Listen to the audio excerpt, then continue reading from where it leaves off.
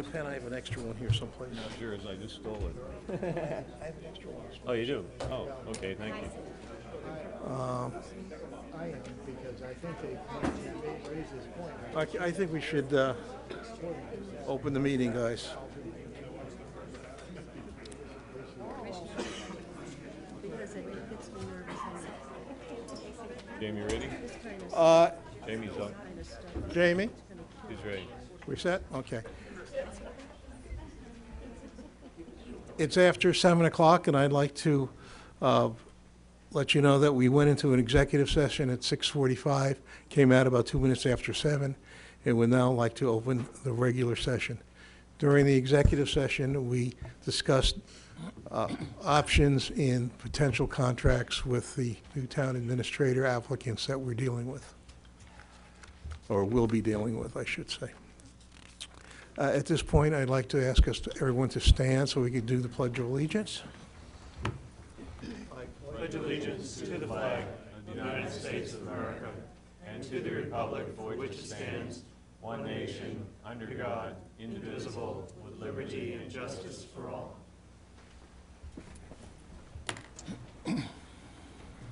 Is anyone here for weekly briefings? Chief Clark. Good evening. Uh, Just um, briefly tonight, I wanted to let you know, uh, we're in the process of applying for several grants, uh, ranging from uh, some public education all the way up to um, some ambulances.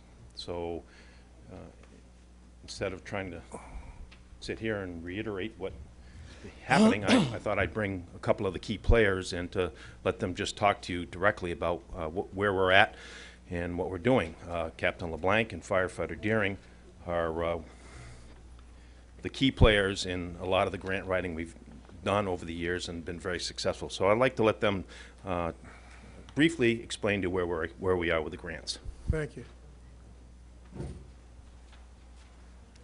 Hello, um, I'm firefighter Deering. I wrote uh, last year for the SAFE grant, which is the Student Awareness of Fire Education. It's a program that's been in existence in Massachusetts since 1995, and in that time, they've had a 70% decrease in deaths in children under 18. Um, Harwich, I don't believe, has ever applied for this grant. So this year, we were awarded a planning grant. We're able to send two of us to the public fire educator class that the Mass Fire Academy puts on. Next year, we applied for a grant that's a little bit more money, and it will get us into the schools to work with the teachers to teach the children public fire and life safety education. We were also able to apply for a grant that is um, $1,800. It's a new program this year. It's a senior safe grant, so it targets our senior population with specific hazards for them. So that's the grant that we're waiting on, hearing on now, the senior safe and next year's safe grant. So hopefully we'll hear in the next couple of weeks here. Thank you. I do want to mention on the educational grants, um, she's working with her uh, counterpart at the Chatham Fire Department, uh, firefighter Tavano. So we're going to, through the Monomoy system, try and have a joint program uh, for uh, education in the Monomoy district. It's terrific, makes a lot of sense. Good evening. I'll, uh, I'll try and be quick. Um, The grant program, I, I was here a couple months ago and showed you the thermal imaging cameras that we had received through the grant. Um, That opens yearly. It's funded by the federal government. It's called the Assistance to Firefighters Grant Program. Um, We have, since its inception, received over $300,000 in grant award money for different projects, from training, thermal imaging cameras. We uh, built a backup radio system. Uh, This year, we decided um, to seek, there's, there's several different programs within the grant that you can apply for. Uh, We are applying for a regional radio grant with the towns from Dennis to Wellfleet, so seven towns. Um, The radio system that we currently use is the State, Mass State- Police uh, 800 trunking system. The Majority of the radios that are in use in the system by all the towns are, uh, were original issue radios. They're no longer being uh, maintained or supported by Motorola, so they're at end of life. We need to replace them. We were able, in 2010, to replace some of our radios. We're going to try and replace the rest with this grant. Um, Our total, the grant is almost a million dollars. the total funds being sought. Our, the Harwich portion of the grant would be about hundred and the, the uh, town's obligation would be ten percent, so about fourteen thousand. So it's, it's a significant bang for the buck for us if we can, if we can go through and, and with working with the seven towns, the regional grants are uh, much preferred by the federal government versus individual town grants. Locally, um, back in 2007 and 2008, the town, um, at town meeting, spent $80,000 in each town meeting to upgrade our, uh, our breathing apparatus. Since that time, the NFPA has uh, changed this standard twice. And since that time, there were 12 air packs that we didn't upgrade at the time. We kept, you know, they're, they're under the old standard. Um, With a local grant, we'd like to try and write uh, to replace the remaining 12 air packs. That would give us 12 new air packs with the current standards. We put them on the first two apparatus where it's going to have the, uh, the best impact for the firefighters that are on duty.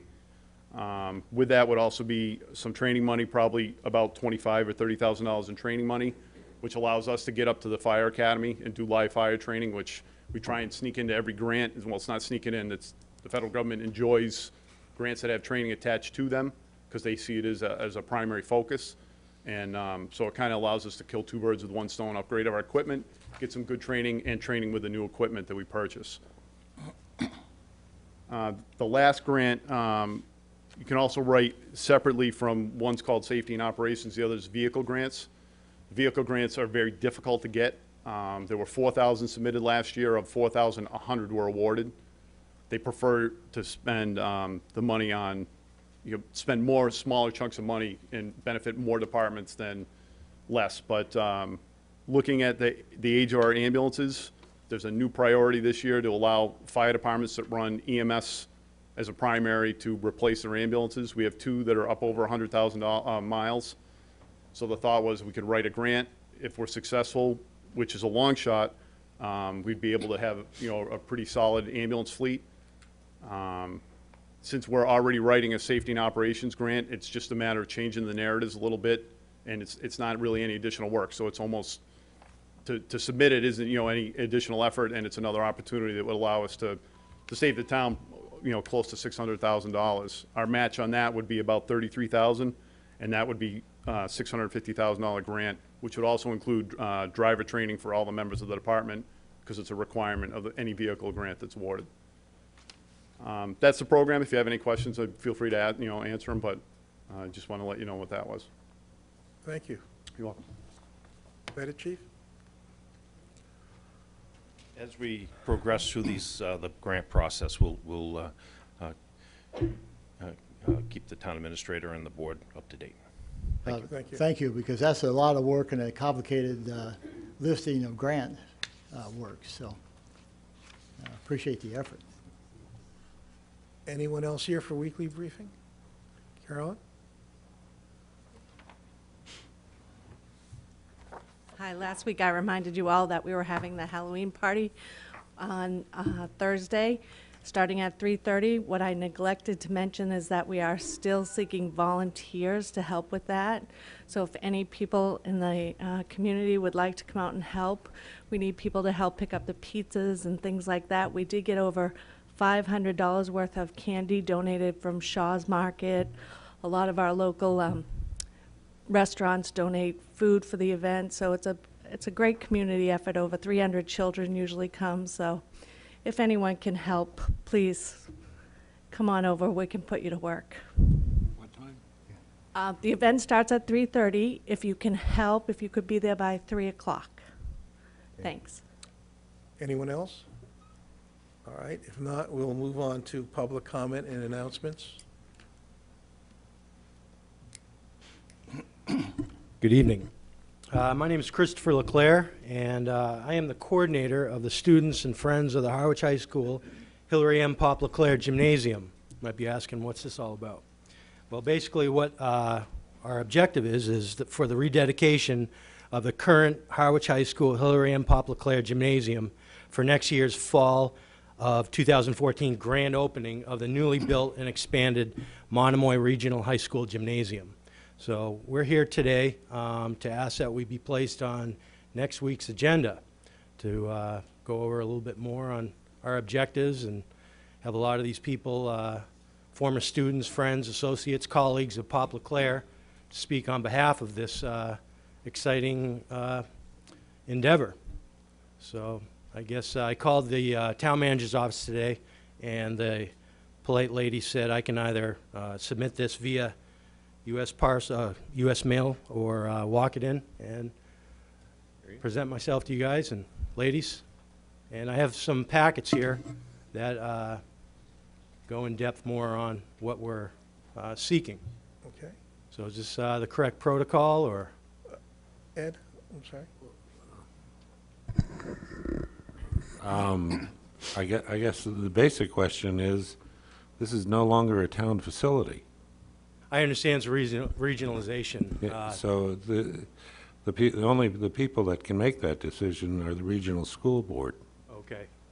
Uh, We also have a letter here from, I, I heard your answer to that. So the Board of Selectmen, Harwich Board of Selectmen, and the Chatham Board of Selectmen would not be the two venues to make this decision? Because in 1972, we have the letter from the late Bob Griffin and the other two selectmen that um, basically endorsed and honored uh, Pop LeClaire for the uh, dedication of the, the current, the current gym for uh, his 40, s- 40 years of s- teaching and uh, coaching varsity sports, Pop LeClaire. I think Ed is absolutely correct. We don't have any control over There's, that. there's no at all. control whatsoever. We would like to know what you're, you're doing and. Would you like the packet, and sir? we- We, I think, Yeah. we'd love to have a package and see, Okay. see what's going on, but I don't, don't expect that we can do anything about it, is what I'm trying to say. Okay, very good. But, Peter? Any I other guess the one- questions? The one thing we could do is, is put it on the agenda for next Sure. week, have a presentation on it, and if we decide as a board to write a letter of recommendation to the can do Monomoy that. Regional School District that they, you know, they name it, you know, name the gymnasium that way, We, which is something that, we could do. w- but that we we don't can have That the that would author- be We outstanding. don't have the We- authority to actually, name it. Okay, very good. Well, I appreciate your time, and so we could be placed on the agenda for next week? Well, it would be handy if you gave a packet to our town administrator. Okay. You said you had a packet there. And next week's A- okay, And, right? and we'll take a look at that and, uh, and uh, make a judgment on that. Eighteenth is a- is a tricky. Is it all right if I approach you, sir? Okay. Mr. Yes. Chairman, um, I guess just, um, just as a way of warning, uh, I know the, in, as we've uh, gone through the process of regionalizing, um, there has been a, a discussion amongst the regional school uh, committee and, and uh, the administrators involved i- is to try and uh, uh, create a new tradition rather than bring past traditions from either of the two high schools, thus alienating one or the other um, towns. And so, just so you're aware, they're going to be very sensitive on that point.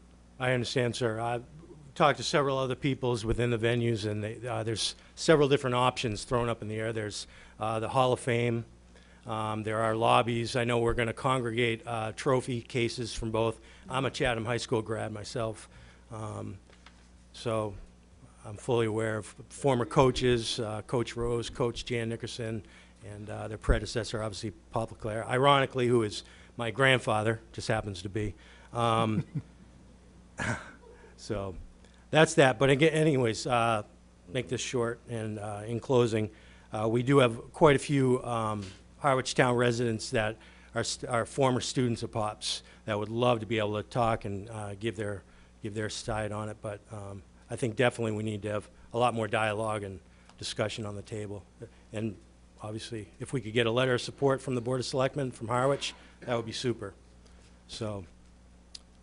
Um, Will we be informed if Yep. yay or nay on it, uh, being on the agenda for next week, or? We'll- we'll, yeah, we'll, you Okay, probably you will have be my on the contact agenda. The only, uh, uh, the only reason I'm hesitating is, it depends on the- what else has to be on the agenda, so. I understand. But you, you will know in a couple of days. Okay, super, because then we can uh, certainly let everybody know, because there are people that are upwards of 88 and 89 years old that would love to come and uh, join you and speak with you. Thank you very much for your time. Thank you. Okay. Anyone else? Mr. Chair, uh, I I think you've all seen the paper uh, Saturday morning that we, uh, uh, Chatham and Harwich uh, was granted, uh, were granted $3.3 million to help in the construction of the Muddy Creek uh, Bridge, which is great news. A little background on that, the funding comes through the Division of Fish and Game, and Department of Interior kind of rolls downhill from Washington, but it's part of uh, money set aside for the Hurricane Sandy.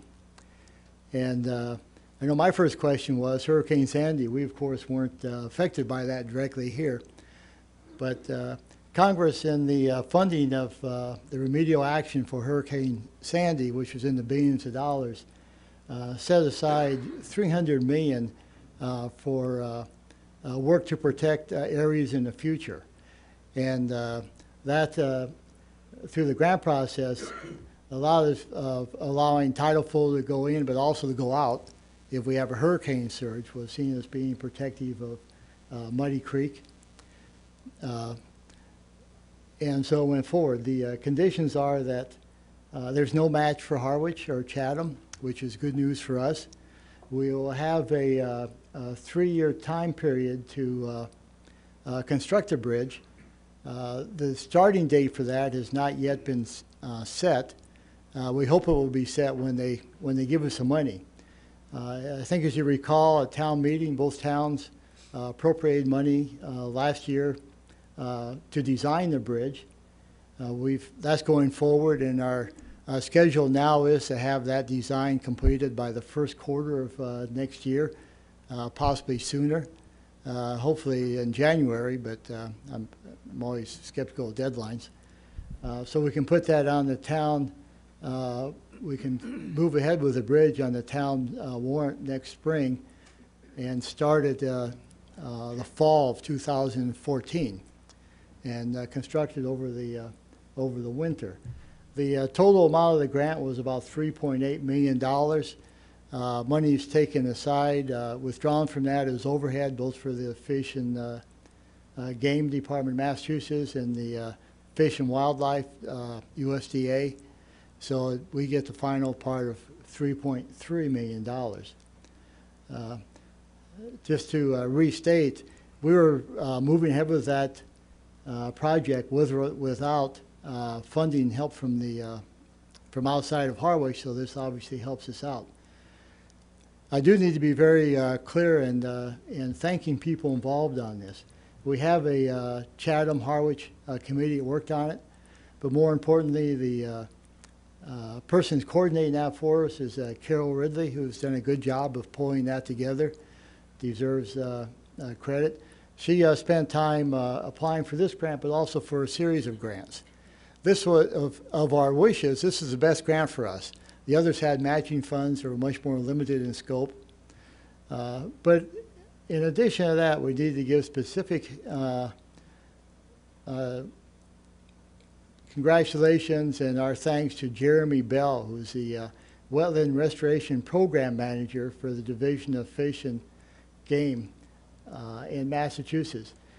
And I wanted to read his uh, full title because he did uh, almost, uh, certainly the significant part of the grunt work of putting it together, the grant, uh, writing it, uh, submitting it, following it, and putting that through.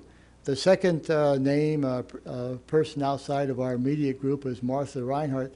She's in the USDA. She also helped with the grant. Martha, I see Dave Young and Peter and other people out there.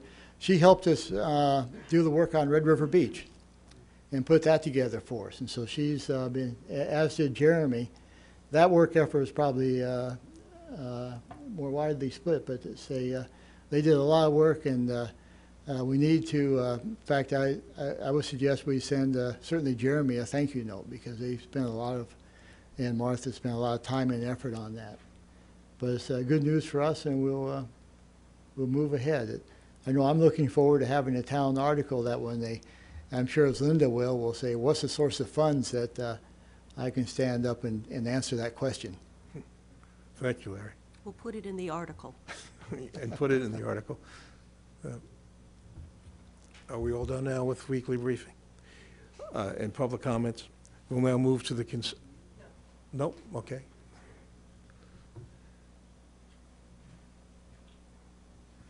Hi, I'm Candace Wolcott. I live on Pleasant Lake Avenue. We talked last week. Unfortunately, the public comment section of your agenda was deleted due to a disk error, and the minutes won't be construed from it because clearly they're done from the recorded element.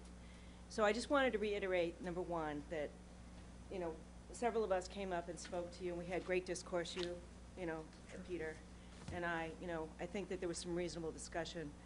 And unfortunately, that was omitted from the televised portion of your town meeting, I mean, excuse me, your selectmen's meeting. But in that, I was very pleased that you said you were going to set aside a specific date to address this 124 project on November 18th. My concern is you decided to have it in this room. I think that the outpouring of concern is going to um, require a bigger room. I don't think this is the appropriate forum for the number of people that may be here to see, number one, the presentation, and number two, ask questions. L- Let me interrupt you for a moment. Uh, We realize that too, and fortunately, the community center uh, multipurpose room is available. It's available that same And night? Caroline is, who's right here, who who runs the community center, Okay. has organized that, Okay. that to occur. And what, what we're trying to do is to figure out, because it's a difficult room in which to run presentations, have a meeting, and have uh, a conversation. So Carolyn's trying to figure out really how to set that, that room up so it can Okay. give everybody the, the best shot. But yeah, that's, that's what the plan is. Okay, great. All right, thank you. I, I, I w- by the way, I was not aware, I don't know if anybody else was aware of the, the difficulty with the, uh, this is the first we've heard about the difficulty with that tape. Yeah, no, there's, um, the public, the whole, that Oh. section is omitted, deleted from the entire meeting. Huh. So we watched two televised editions, and then we talked to Jamie, she said it was just, Okay, so, very displeased with that, because we had several people come from town yeah. and, um, you know, take time out of their lives to, to bring. It was a good meeting, as a matter of fact. Yes, ma'am. Uh, I'm Ann Stewart, 518 Pleasant Lake Ave. Along those lines, um, yeah, I, I wanted to make it known that there's been some uh, press this week about an individual that was concerned that she felt that she didn't have a chance to really understand some of the, um, the uh, remarks that were made uh, or get an understanding of the plans that were brought forth on October 16th with Mr. Hooper and Mr. Magny. She felt that because other people got up and expressed their views about the 124 project, that that was inappropriate. So I wanted to clarify for this individual and then for also for other individuals that may have felt that those, you know, the people that got up and spoke with a mic were acting inappropriately. Um, this is got, it- it'll be new for Mr. McManus. I, I asked the rest of the board to bear with me. I'd like to have these two records, or letters that I have on public record. I'll read fast. I have a letter from uh, myself to Mr. LaMantia dated July 25th. Dear Chairman, abutters to Route 24, Pleasant Lake Ave, in Harwich earnestly request an opportunity to meet with the selectmen to address our mutual concerns about the proposed Route 124 renovations. We feel that time is of the essence in this matter. I will therefore look forward to hearing of a date when we may approach the board. Sincerely, Ann Stewart. On August 1st, I received a letter from Mr. Robert C. Lawton. Dear Ms. Stewart, the Harwich Board of Selectmen is in receipt of your letter dated July 25th, 2013, in which you request to meet with the board regarding proposed reconstruction of Route 124. The Board of Selectmen discussed your request and felt that the appropriate forum to address any concerns you and any abutters may have is at the several public meetings to be held on the proposed project. Public meetings will be scheduled by the Highway Director, Lincoln Hooper, after a plan is developed. At that time, abutters will be notified of these meetings, and they will be advertised in the Cape Cod Chronicle. Sincerely, Robert C. Lawton. I just wanted to have that on record, that we did have permission to speak at that meeting. Thank you very much.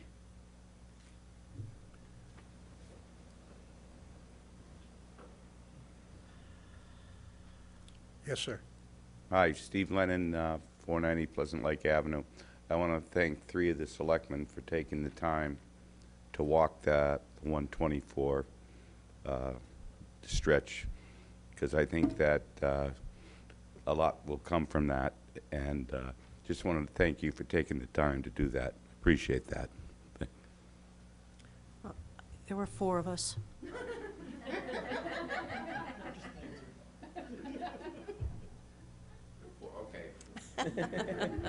Just to keep the record straight. Thank You're welcome.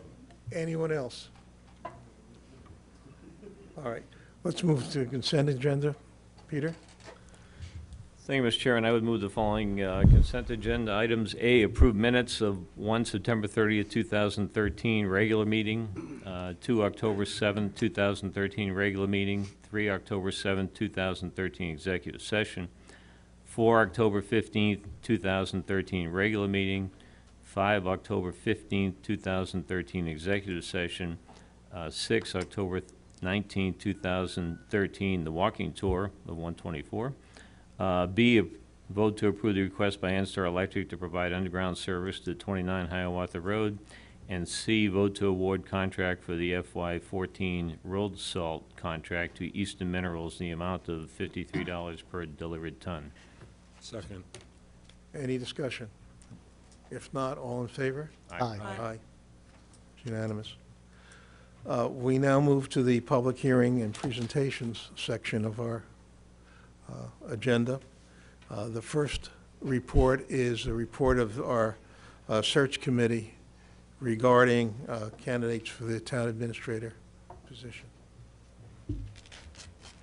Mr. Wheeler.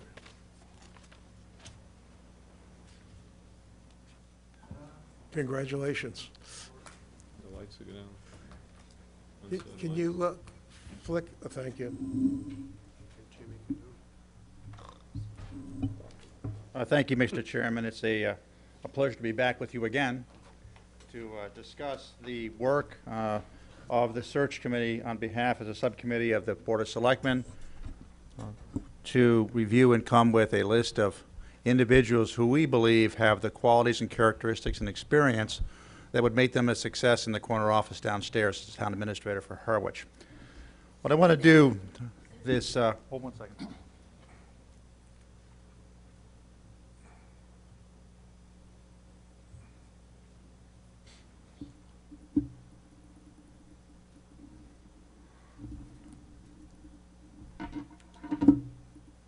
There we go. Before we get started, I want to recognize certain individuals who have, not only through this round, but also the previous round of this search, have committed an awful lot of time and energy and expertise to this process. From the, from round one, we had five individuals who remained on the committee uh, to, uh, to, um, in this undertaking, and they are Leo, uh, I don't know who, how many are in the room today, but Leo Dragunas, Shirley Gomes, Chris Joyce, Tom Johnson, I know you're here, Tom, somewhere. He just left, okay, just stepped out. And myself. I also want to recognize the Harwich Chamber of Commerce who provided us access to their executive conference room to do the interviews. Uh, As you know, we had to maintain the confidentiality of all the, of all of the candidates at their request. And uh, in, a- in a- an effort to do that, they were very courteous and allowed us the use of that facility. In addition to that, in addition to working with Mark Morse from MMA Consulting, the company hired to, to, to uh, drive this search, Bob Lawton came in um, on the day we spent reviewing 51 resumes and helped us with, with uh, some input on specific candidates as well as the process, which really helped us immeasurably. So thank you, Bob. Appreciate that very much. We caught him just as he was about ready to go out the door, I think, that day, so it was very nice. I want to share with you the committee charge again, just to level set with all of you. And uh, then to give you, uh, I- again, a sense of the guidelines that we follow that drove our day-to-day uh, activities, uh, give you a sense of the competencies that drove the question set that we probed with each of the candidates to determine whether they had the stuff, if you will, to make it, to be successful in, uh, in, in the town of Harwich. Then I'll share with you some highlights of the process that we followed, and most importantly, at the end, I'll share with you the results, the list, the names of the finalists, and give you a little bit of background as to who they are. So with that, the charge, and again, this is what you as the board gave to us. And I'm not going to read all of it, but basically it just says to give you a list of qualified candidates for this position, a minimum, a minimum of three. And one of the things you also did, is you authorized every, uh, us to go back and review the resumes from the previous round if we thought that would add to our process. So, and there was, there was some limited review of the previous resumes as well. So that was the charge. And tonight, we're delivering that to you. Guidelines. One of the things that we did early on in, in round one was to agree on a process for how we were going to do this. And we made sure, we made a commitment as a- individually and as a committee to follow that process. And early on in that process, we had uh, John Giorgio come down and talk about open meeting law, the things you can do and things you cannot do. And we, we held to that religiously in terms of open meetings, in terms of executive session, and so on and so forth.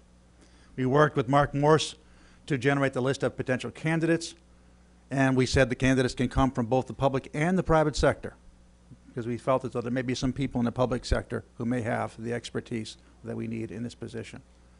In addition to what we learned from the resume reviews and any other background information we did, we uh, probed Mark Morse for any additional insights that he might have had on individual candidates, which helped us to better appreciate why a person was considered to be a, uh, uh, a better candidate, more qualified candidate versus a lesser qualified candidate, and so on. Because in addition to the 50, well, of the 51, he might have recommended a certain number. I'll give you that number in a minute.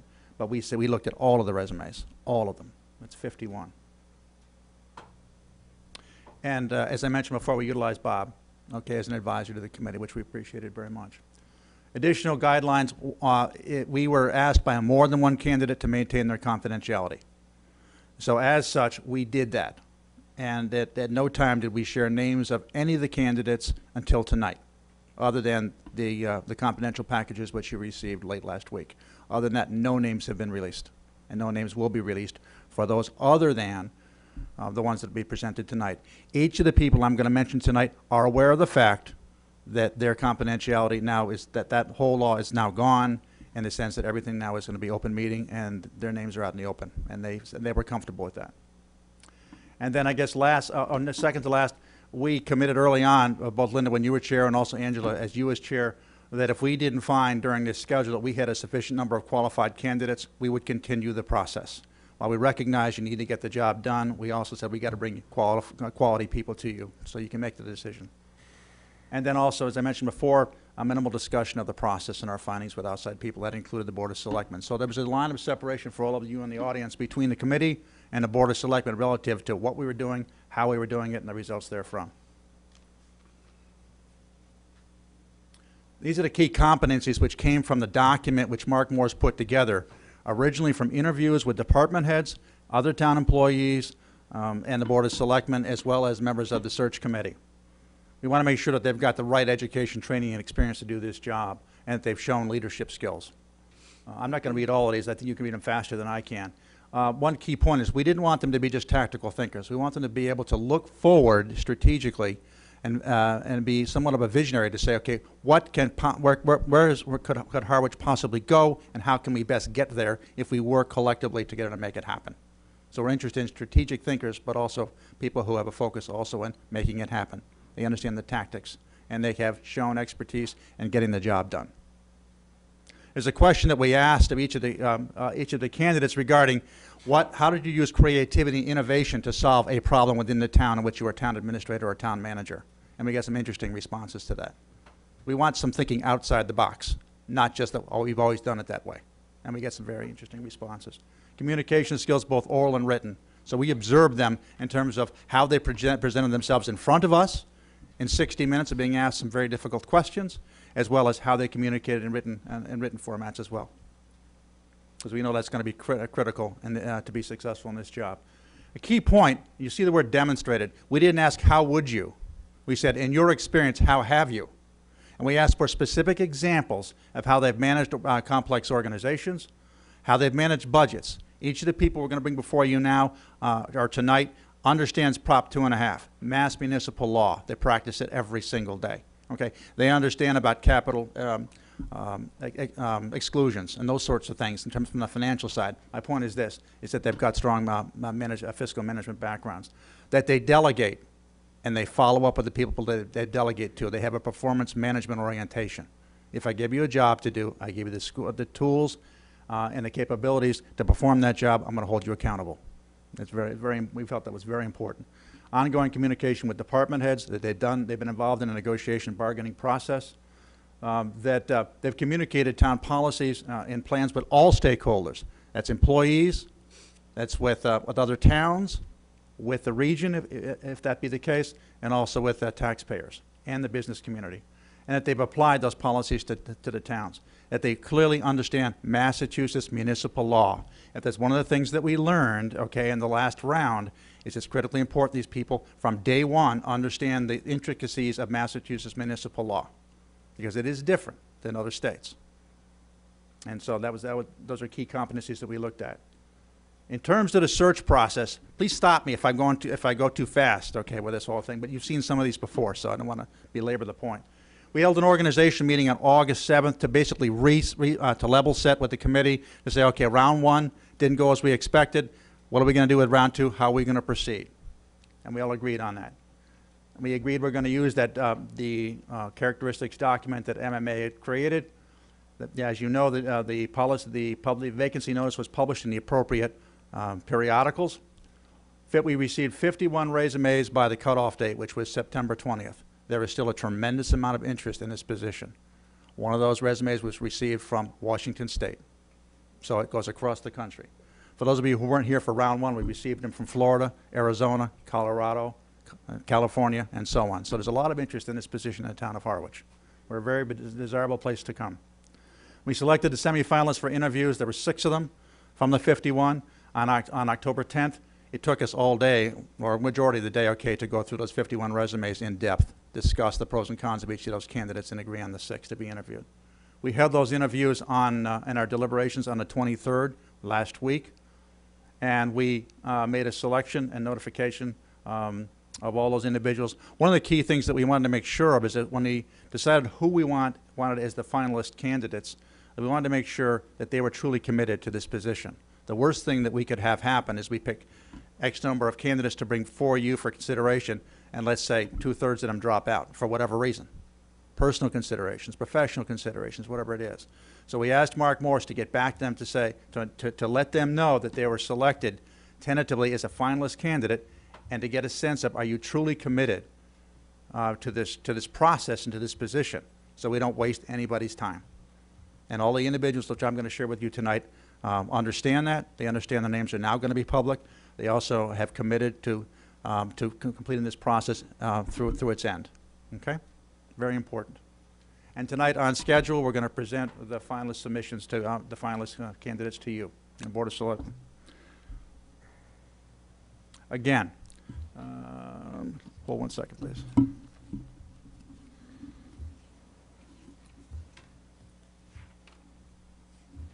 I just want to repeat, um, all of the people that I'm going to share with you now, there are three of them.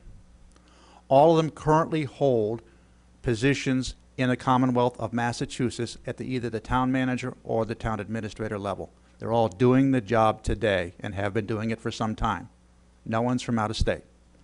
Second, from a financial standpoint, they've lived all the joys and the otherwise of being in that position when it comes to fiscal management, human resources management, policies, procedures, communication, et cetera, et cetera. They understand the dynamics of the position, okay? So these are people who are tried and they've been proven, so. With that, let me share with you who those individuals are. And I'm going to give you a little bit of background as to who they are. First is Sharon Lynn. Sharon Lynn has 30 years of town management and municipal policing experience. She has been the town manager of Provincetown, Massachusetts for six and a half years. Prior to the assignment in Provincetown, she, uh, she was employed by West, by West Goshen Township, Pennsylvania for more than 20 years. She began her career as a police officer and serves, served as a detective for 13 years. She served for 11 years as the assistant town manager and town manager of West Goshen. Sharon Lynn. Second, Christopher Clark. Christopher Clark has 20 years of municipal experience and has been the town manager of Southbridge, Massachusetts for the last five years. Prior to working in Southbridge, Mr. Clark was the town administrator in Vernon, Connecticut for two years and has worked as the assistant executive director and acting executive director, which is equivalent to the town administrator in Wellesley, Massachusetts for approximately six years. Third, Alan Chaka. Alan Chaka has been the town administrator of Rockland, Massachusetts for, for five years. Prior to his employment in Rockland, Mr. Chaka had been in private business for approximately 20 years. He served as one term as the selectman in Bridgewater from 2001 to 2004 and served as a state representative for two terms from 1981 to 1984. Earlier in his career, he served as a legislative aide in the Massachusetts House of Representatives, and he's been active in community uh, affairs and has served on town government committees. Mr. Chaka owns a Bachelor of Science degree and a Master of Public Administration degree. One other thing I might want to add, okay, is Ms. Christopher Clark also holds a Bachelor of Arts degree and a Master of Business Administration um, degree as well, from, um, I'm not sure what, what, what university, but they have, they're, they're, they're degreed individuals. So we have Sharon Lynn from Provincetown, Christopher Clark from Southbridge, Massachusetts, and Ellen Chaka from Rockland, Massachusetts, as your three finalist candidates. Yes, Ed? Do we know what uh, Ms. Lynn's educational background is? I don't have it with me. Oh, okay. I'm sure you can get it, though. I do not know. Other questions?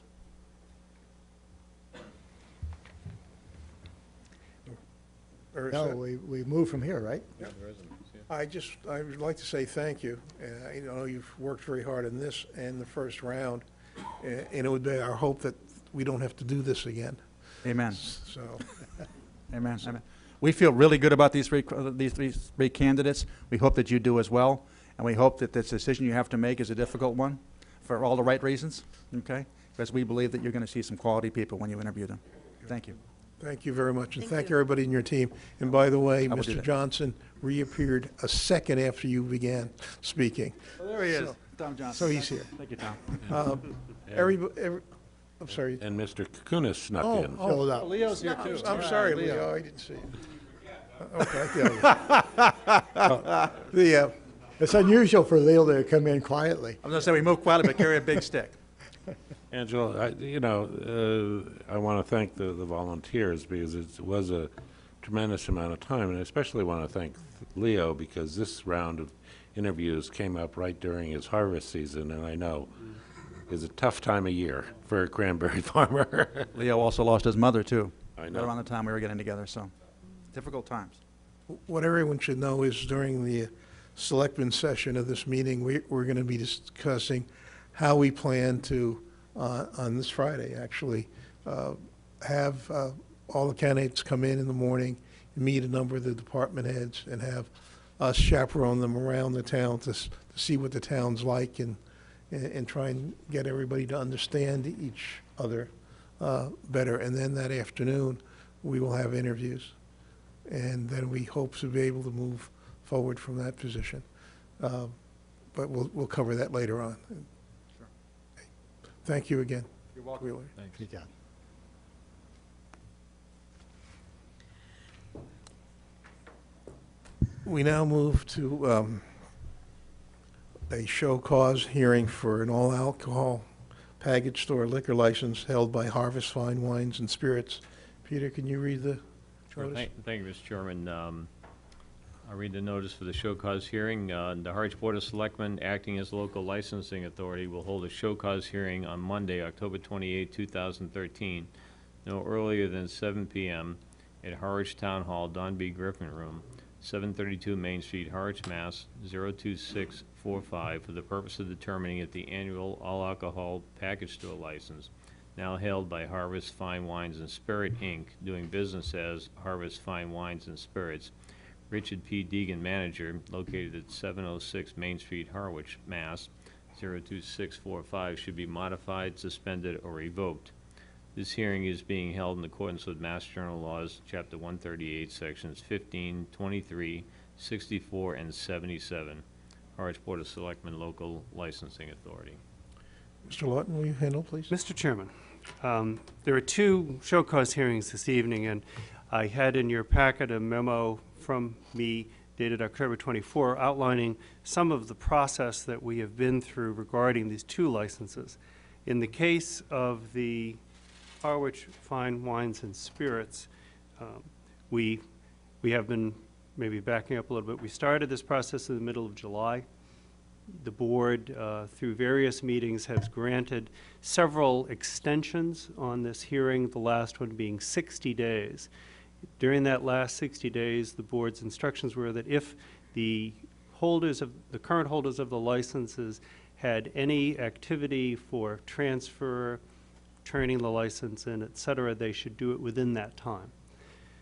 As of this evening, or as, I'm sorry, as of Friday afternoon and then this afternoon, we have received a 90% complete request for a transfer for Mr. Deegan's license. Uh, The only, there are some minor items which need to be uh, placed within the file. So I guess at the last minute, this has, there has been an application filed with you. I might suggest to you that in this particular hearing, that you uh, postpone action until the 12th of November. The reason for that would be that during that time, this application could be finalized or not. And if it is not, then the board could take the action of revoking the license. Uh, So that would be my recommendation on this license for the Harwich Fine Wine and Spirits. Uh, I think we should ask if there's any, any comments uh, from the If, audience. if the uh, hold, license holder is here, which I'm not sure that, in this case, he is or not, in my conversations with him, he has discussed uh, the possibility of a transfer, which occurred today. Yes. Good evening. Uh, I'm William Gens, and I do not represent Mr. Deegan. I represent uh, Karen,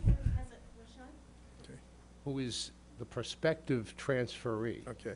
Okay.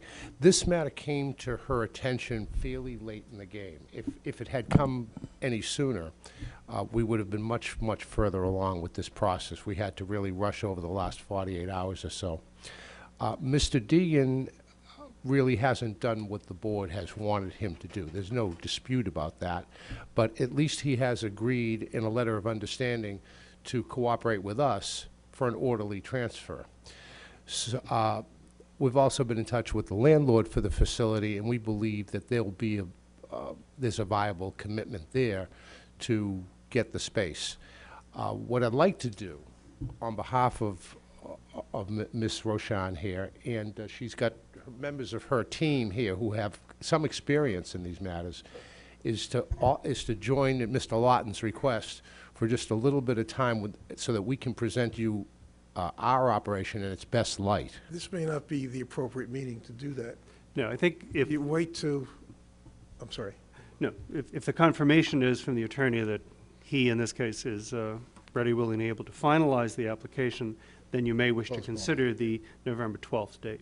I, this would not be a time for a presentation uh, on the, That's- I'm on I'm not going to license. make much of a presentation, but I want to have that opportunity in the future to do Well, so. you, you, you will on November, The hearing. no, November, uh, November 12th, Well, excuse no, me. I think at, at that time, by that time, I will have to certify to you that the application has been submitted properly and all of the forms are completed. Then we would, I would be suggesting some dates at which time you would hold a public hearing for the possible transfer of the license.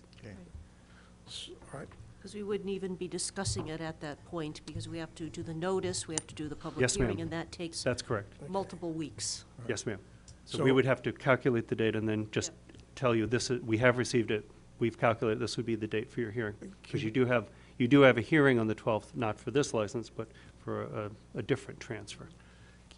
Uh, Can we have a motion to, Continue the hearing to the 12th of Y- November? yes. Second, all in favor? Aye. aye. Opposed? Your- Your, your appearance is not wasted, because it's nice to know there's interest. Uh, Peter should probably read the other show cause notice now? Yes, Please. thank you.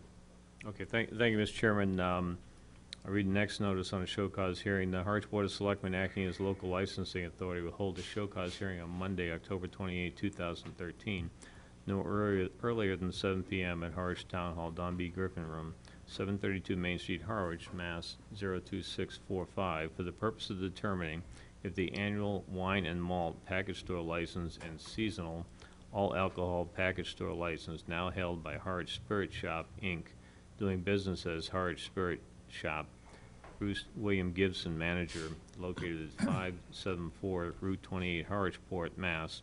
02646, should be modified, suspended, or revoked. This hearing is being held in accordance with Mass General Laws, Chapter 138, Sections 15, 23, 64, and 77, uh, the Harwich Board of Selectmen Local Licensing Authority. Mr. Chairman, in this case, unless there is someone here this evening representing Mr. Gibson, or if Mr. Gibson is here, um, I have had no contact other than the, uh, with the office. One of the uh, administrative secretaries had received two phone calls from Mr. Gibson saying, at least in one case, he was going to turn in his license or at least not uh, challenge the Board of Selectmen at, uh, at a show cause hearing. So I'm not sure if Mr. Gibson or anyone representing Mr. Gibson is here this evening.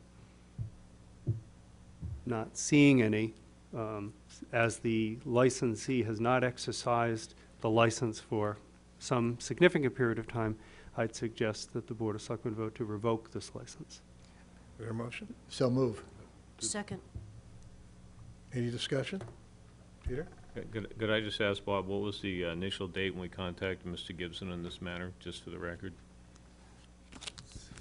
And my intent is to show that we're given sufficient, you know, time and notice. I'd if have you to will. look back through the, uh, We On have- July 16th, 2013 was my first letter to Mr. Gibson. Uh, He responded on July 24th, indicating that he was going to uh, take some action to transfer the license. And subsequent to those dates, we had letters uh, dated August 1st, 2013, uh, notifying Mr. Gibson that action needed to be taken, and then on, again on August 13th regarding the show of cause hearing, and then the, bo- and then August 28th, where the Board of Selectmen granted the uh, 30-day time period. And then there was this, there was correspondence September 25th, and I think my last correspondence to Mr. Gibson was October 3rd. Okay. We're in- So I think. But the point due- is, due this has notice has been going been on given. for three and a half months. Yes, sir. Yes. Without any positive traction, I guess, is the way I No, would sir. You are describe it, correct. so. And this is different in that that business was sold at the end of June, I believe, so the business doesn't even exist. It does not, uh, to the best well, of the my liquor knowledge. license does, though. The liquor license does, but the business itself is gone. The property was The sold, building. Property not was the sold. build- business. yeah. So the business is basically, at that location, closed. And there is a, a motion and a second. Yes? Did did Any we other- open the hearing? Yes, we did. Yeah. Okay, did we close it? No, but we should. Uh, Is not, well, we can close the hearing. Typically, we close the hearing before. Before we have the discussion. Taking a I motion. move to close the hearing. Sec, okay. Good point. All in favor? Aye. Aye. Aye. I remove we uh, revoke the license. Second. Any, f- any further discussion? All in favor? Aye. Aye. Thank you. The next uh, set of activities are s- annual meetings and little presentations from uh, th- three of our committees. First one is the Youth Services Committee. Uh, Good, good evening. I'm Jim Hartley from the Youth uh, Services. I would like to open my comments by acknowledging the recent passing of one of our members, Malcolm McDowell. Mac was a retired pastor, loving husband, and tireless advocate for youth. His compassionate and dedicated ministry informed the work with kids, families from Pennsylvania to New York to Cape Cod. His wisdom, kindness, and humor will be greatly missed by all of us. Harwich Youth Ser- Services Committee met seven times during the past 12 months, and the projects we collaborated on are in your package, which I believe you've got those Yes, we do. uh, prior to this meeting. Harwich Youth Services Committee will continue to collaborate with the aforementioned organization to support, support healthy activities and social supports for the Harwich youth.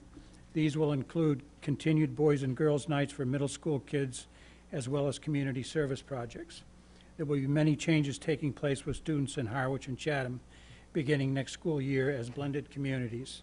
Harwich Youth Services will be working with our partners in Chatham community, coming together with both recreation departments to work toward the goal of maintaining and creating programs that promote health and safety. Um, Just as a note, I wrote the original um, job specs for this position 14 years ago. So, Anyway, if there are any questions, we'd be happy to try and answer them for you. Just a comment, I was reading your, your mission statement, and I, and I think, I think it's a- a- an excellent mission statement, and you do a wonderful job moving towards it. Oh, Thank you. Sure. Jim doesn't know that I'm going to say this. I'm Sheila House, the youth counselor, but he not only wrote the original um, job description, but he's been on Harwich Youth Services Committee for 15 years now, so I just want to publicly acknowledge him. Thank you, thank you. So he started as a young man. Time changes. Well, at least a younger man. We, we now move to the uh, next meeting, which is our cemetery commission. Presentation. Good evening, I'm Cindy Eldridge, um, Harwich Cemetery Commissioner. Um, In response to how is your committee attendance, our committee is very well attended. Uh, In response to, are you in need of new members, or do you have enough membership now? No, we are not in need of any new members. We uh, all work together very well to get our uh, tasks accomplished. Last year's activities, over the past year, the commission has continued to focus on several fronts, including planting of 100 Leyland cypress trees in Evergreen Cemetery, installation of 20 monuments on Howland Children's Lot, Mount Pleasant Cemetery grading and installation of topsoil and hydroseed in front of the newly installed fencing, the South Harwich land swap, install drainage for Island Pond Cemetery, and digitization of Harwich Cemetery books. The South Harwich Cemetery land swap with Rich Roy has been completed and will be filed at the Barnstable County Registry of Deeds. Income for FY 2013 was 50300 Of that, 46350 from lot sales and administrative, administration fees, excuse me, which went into the evolving, revolving account, and 3950 went into the perpetual care account. That's an increase of $7,000 over the last year. Looking ahead, the commission's top priorities are to complete the Mount Pleasant project with additional grave spaces, installation of lot markers, and beautification of the entrance to the South Street entrance. Harwich Center uh, Cemetery, to get that on the National Register, to make informational brochures of each of the town cemeteries with street maps, and a design of the South Harwich Cemetery expansion, continuing to update the town's burial records, and a design of the Veterans Circle in the new Evergreen Cemetery section, the planting of trees and beautification of the entrance at Evergreen, and the completion of the preservation and digitation, excuse me, of the Harwich Cemetery records books. They're to be rebound and the original sent to the town clerk. Gravestone Conservation in Harwich Center Cemetery, and we, we anticipate an active year for the commission and our administrator as we continue our efforts to properly maintain and service the 17 existing town cemeteries and remain vigilant in making needed improvements to ensure sufficient resources of the town's future needs. Commission meets monthly at its office located at the town DPW garage on Queen Anne Road, and public input is most welcome. The Cemetery Department office is open five days a week from 8:15 to 2:15. Respectfully submitted from the Harwich Cemetery Commission, Wilfred Remillard, Chairman, Warren Nichols, Commissioner, Cynthia Eldridge, Commissioner, and Robin Kelly, Administrator. Thank you. Any questions or comments? Uh, uh, One question. Uh, The digitization of the uh, cemetery books. Uh, You know, we're going through, we're working with Brooks Library to digitize their records and the uh, deed of clerks downstairs. I'm just interested, what type of, what what would be the uses of, of these records? Uh, Let who- Robin answer that. Is it historical records, or is Yeah, it up to so, date? uh, Some of the books date back to the early 1800s, and there are a lot of information in there on to who really purchased the first lots, who was on those committees at the time. Um, We've gotten the disc back at this point. You can go in there and you could search Sydney Brooks, anywhere on the tape that Sydney Brooks is on the disc, it'll search there, and then you just hit the next one, and it'll search to that A- spot. And the process for doing that would be to contact you if I were interested in some I, historical? I have three discs currently, so I'm going to be bringing one over to Desiree. One's going to be here at Town Hall, and one will be at my office. Okay. Thank you. Okay. Peter? Robin, while you're up there, could I just ask, uh, what we're doing with the ground penetrating radar? At one time, that was a very important, you know, project and topic for you. Are you still using the the equipment? Uh, we, we are still using the ground penetrating radar. We use it, um, we initially purchased it to find, um, in the wintertime, we couldn't locate where the um, bodies were on the frozen ground, so it's easy to find them with the ground penetrating. You don't even have to probe the ground, you can see, it's like an x-ray underneath. Um, uh, We took the money out of the um, perpetual care account, and then we made enough money renting it out to other towns to put all the money back in, so it paid for itself. Um, We currently had, the town of Dennis ask us if we would do a couple of more. We've already scanned one cemetery for them, but they have additional cemeteries that they want scanned. Um, We haven't uh, lined up when we're actually going to have time to do that, Um, but uh, hopefully it'll be soon. Thank you. Yes. Um, the, the discs and the digitiz- digitization of the records, i- Mhm. is it uh, anticipated to some time put those online?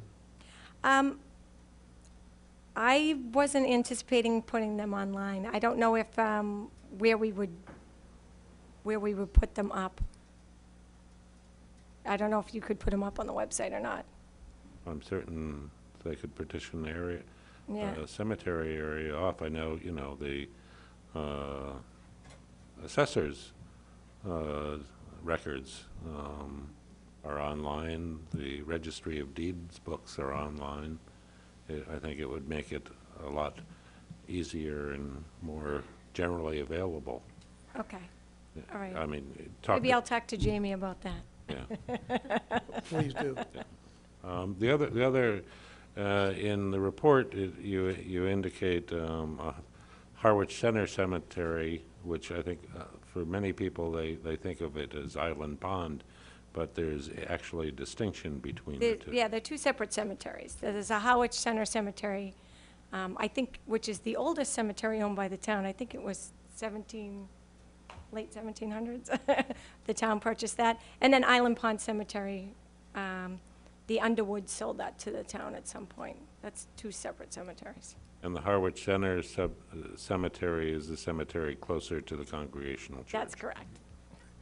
Uh, I think it's a terrific idea that you're putting maps together. Well, a lot of people ask me when they come how to find graves, and Uh, The thought should be to put that online also. Yeah, yeah, that is our intent, so that, that way when people come for Quickly. funerals and stuff, they can actually find their way without calling for directions. Thank you. Anyone else have a question or comment? If not, thank you very much, both of you. Thank you. We now move to the uh, third of the presentations, and this is from the, oh, I'm sorry. Uh, Mr. Chair, if I could just request through the chair that people turn their phones off. We've heard multiple ringings, so can you at least silence them? I'm sorry. I was going to do that in a second. Uh, We're going to uh, hear from our uh, wastewater implementation advisory committee. That's another phone. Yeah, like that. Okay.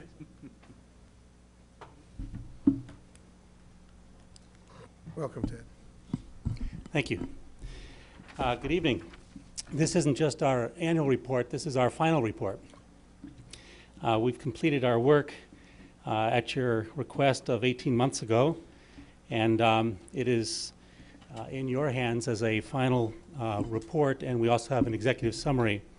Uh, For those that are interested, there's 10 copies up here or so of the executive summary, and you're welcome to them. The report itself is um, online and can be uh, downloaded. It's very uh, long, so I didn't print out copies for everybody. Uh, So, um, I first want to uh, commend our committee. It really was a terrific committee. In the past 18 months, they've met more than 30 times, and each session was filled with hard work done in a good spirit. This does not include the hundreds of hours put in by each researching dozens of studies, talking to experts and residents, and likely reading thousands of pages. They challenged assumptions, sought new questions, met with many stakeholders, and ultimately found solutions. I would like to thank them for working so hard to make Harwich a better place. Some of them are in the room tonight. Uh, Danette Gonzalez, representing the Water Quality Task Force, uh, Chris Harlow, representing the Capital Outlay Committee, Alan Thompson, representing the uh, Harwich Water Department, Noreen Donahue is the liaison from the Finance Committee, and Larry Ballantine was the liaison from the Board of Selectmen.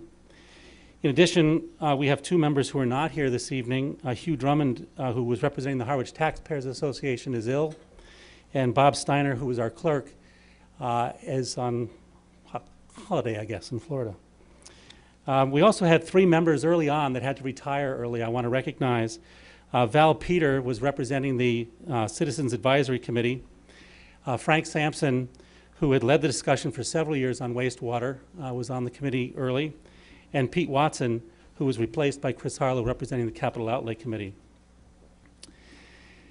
The town of Harwich faces an important challenge that's being undertaken across our planet. That is the challenge to keep our water, our estuaries, and our bays clean and healthy. We're very fortunate in Harwich that our drinking water is in excellent condition, deep and clean. Our water department has done an outstanding job maintaining its condition, and it's incumbent on the town to continue to protect our drinking water and provide outstanding stewardship through wise policy and regulatory decisions. Our estuaries and bays are another matter. Harwich consists of five watersheds. These watersheds are Herring River, Pleasant Bay, Allen Harbor, Wychmere Harbor, and Saquatucket Harbor. As these watersheds drain into our estuaries, bays, and harbors, we need to control what drains into them to ensure the full estuary system remains healthy.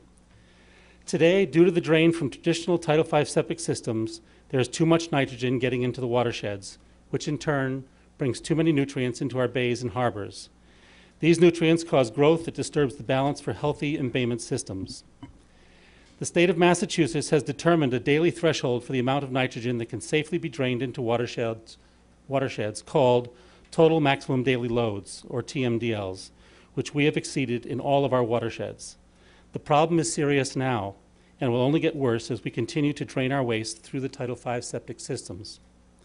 For swimmers, boaters, lovers of natural beauty, and those who appreciate the importance of balance in nature, this is a matter to be taken very seriously. After much study of several alternatives, it has been determined that a central sewer system that captures the necessary waste to return our watersheds to a proper balance is the best solution.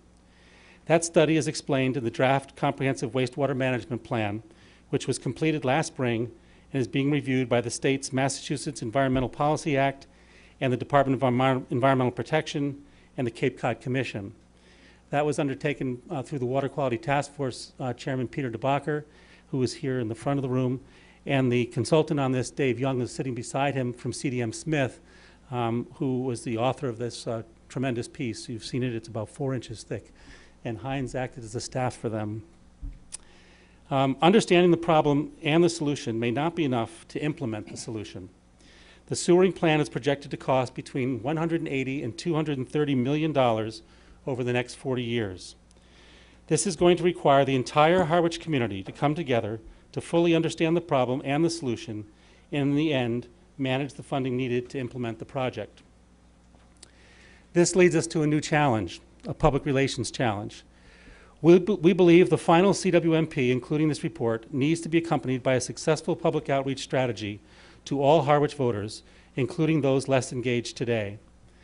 The key to townwide support is complete transparency and a strategic public outreach program. Part of this strategy should be to bring the CWMP before town meeting to be approved by the voting public. It is good that the Cape Cod Commission has reached out to Harwich and offered the resources and funding to help with the outreach program. It requires strong leadership and a detailed plan to make certain that all of Harwich becomes informed and can make an educated choice going forward. The Commission will need Harwich leaders to help guide them, even as we use their resources and funding. The relationship with the Commission is especially important as they are working towards a regional wastewater solution for the entire Cape, and Harwich is already acting on a regional solution by using the Chatham Treatment Plant for the Pleasant Bay watershed, and the Herring River plant can likely be regionalized with parts of Dennis. The county may also be very instrumental in securing future grants as low-interest loans to help fund the project. As part of the public outreach and in recognition of the fact that our young people today will be the decision makers for most of this project, I think in 40 years most of us won't be around, but the high school kids will be, I hope. We'd like to recommend that a new prize be created in Dr. Stanley Kokut's name to be awarded to a Monomoy or Tech Public High School student each year of $1,000. This prize to be called the Dr. Stanley Kokut Health and Science Award. Uh, In the Water Quality Task Force meetings, uh, those who are on that board will know that Stan constantly talked about the need to educate high school kids about this problem and other problems I'm sure to come. So what was our charge? Our charge was uh, three items. Uh, It's restated, by the way, in our uh, plan uh, in Appendix 1 in more detail. But the first was to establish a cost allocation policy for presentation at town meeting. The second was to explore funding sources. And the third was to develop organizational management structure for the wastewater system. So first, I'd like to share with you the challenge of financial planning for 60 years. The CWMP calls for eight phases over a 40-year period to complete all the capital requirements. If bonding is required in the final phase, then it will take an additional 20 years to pay off, hence the 60 years. On the cost side, each phase anticipates a specific cost associated with the work that needs to be done during that phase. The cost for each of these phases is subject to change at any time as the results of each phase is measured, nature reacts to what has taken place, and we become more familiar with all the variables that will impact the costs. This type of management is appropriately named adaptive management. So it is difficult to have accurate projections over such long period of time with so many variables that can affect costs. By working in five to seven year phases, adjustments can be made regularly. On the revenue side, it is equally challenging to predict more than seven to 10 years in advance. Having said that, we decided to look at all 60 years of revenue and costs based on what we know today. We understand that revenues are as subject to change as costs, such as changes in population base, construction pace, water use rates, and so on. Although our modeling does show all 60 years, we, we anticipate the first 10 to 15 years as being the most accurate. It will be the responsibility of the town's financial leadership to track this each year and make the adjustments necessary to reforecast on an ongoing basis. There are additional costs and revenues that are not in the plan um, that are important to note. Um, as with most municipal finance projections, the CWMP is using today's dollar values uh, through the entire project and does not adjust for cost of living increases or inflationary projections. We've continued that practice and have no, not anticipated any additional such costs. Regarding additional revenues, we have fixed our fees and charges on today's population base. While we anticipate more than 30 single-family homes being built each year, we do not actually scale our revenues to show population increases from year to year in some of the impact fees and or taxes. We also have not included the betterment fees for subdivisions greater than five homes, apartments in a village center, commercial complexes, etc., whose betterment fee would be based on the costs of the innovative alternative septic systems they would otherwise have to install by Board of Health regulations. Our plan includes many sources of revenue, which I'll go through in a moment, that need to be protected, so they are only used for funding the capital costs of the wastewater project. Together, all of these fees and taxes will pay for all the capital costs. It's imperative that a new dedicated wastewater fund is created to protect these funds. Ultimately, our recommendations will involve future decisions by various regulatory bodies, including the possible need to consider filing legislation to amend the town charter. We have reviewed all of our recommendations with the relevant town staff for input into the final draft of this report, including the town administrator, the town accountant, the town assessor, the town health director, the town planner, the natural resources officer, as well as CDM Smith, the consultant on the project, and the coordinator for the Pleasant Bay Alliance, the superintendent of the town water department, the director of highways and maintenance, and the town engineer. Our report does not get involved in any of the specifics that each person, each staff person might need to undertake to meet all of these recommendations. We feel this direction is best given by the town administrator or the Board of Selectmen. Very quickly, I'll outline the CPWI, which is the comprehensive, uh, the, uh, the plan for wastewater implementation, the large document. Um, for- after the table of contents and introduction, the first section is the first 34 pages deal with the funding sources and the cost allocation recommendations. Section two is the next three pages, and that's the revenue and cost flow chart, and in many cases, it's really the guts of this entire uh, plan. Section three is dealing with the management structure, uh, and section four, uh, the next two pages are dealing with the public outreach concerns.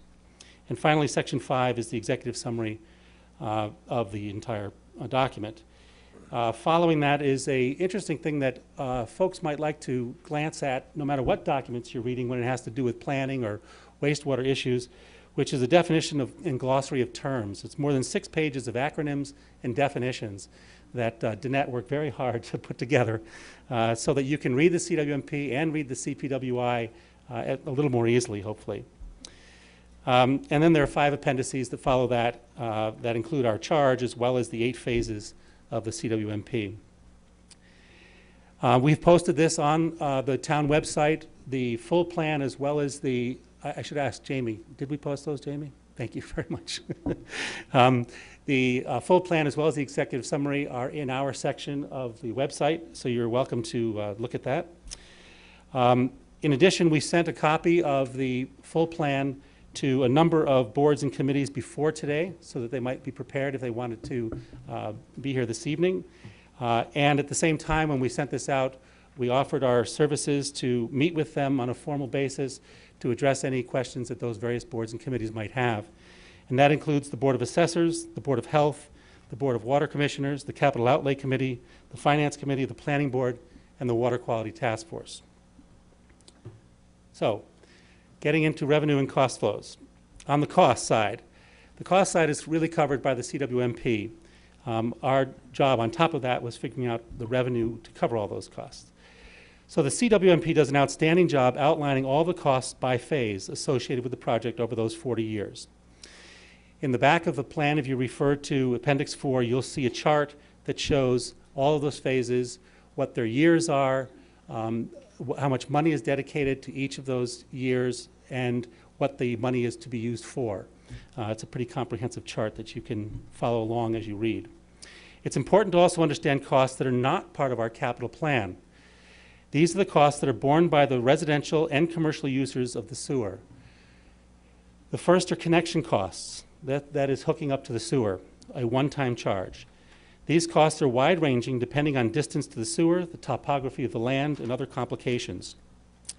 The CWMP estimates that cost to be an average of $4,424 per connection.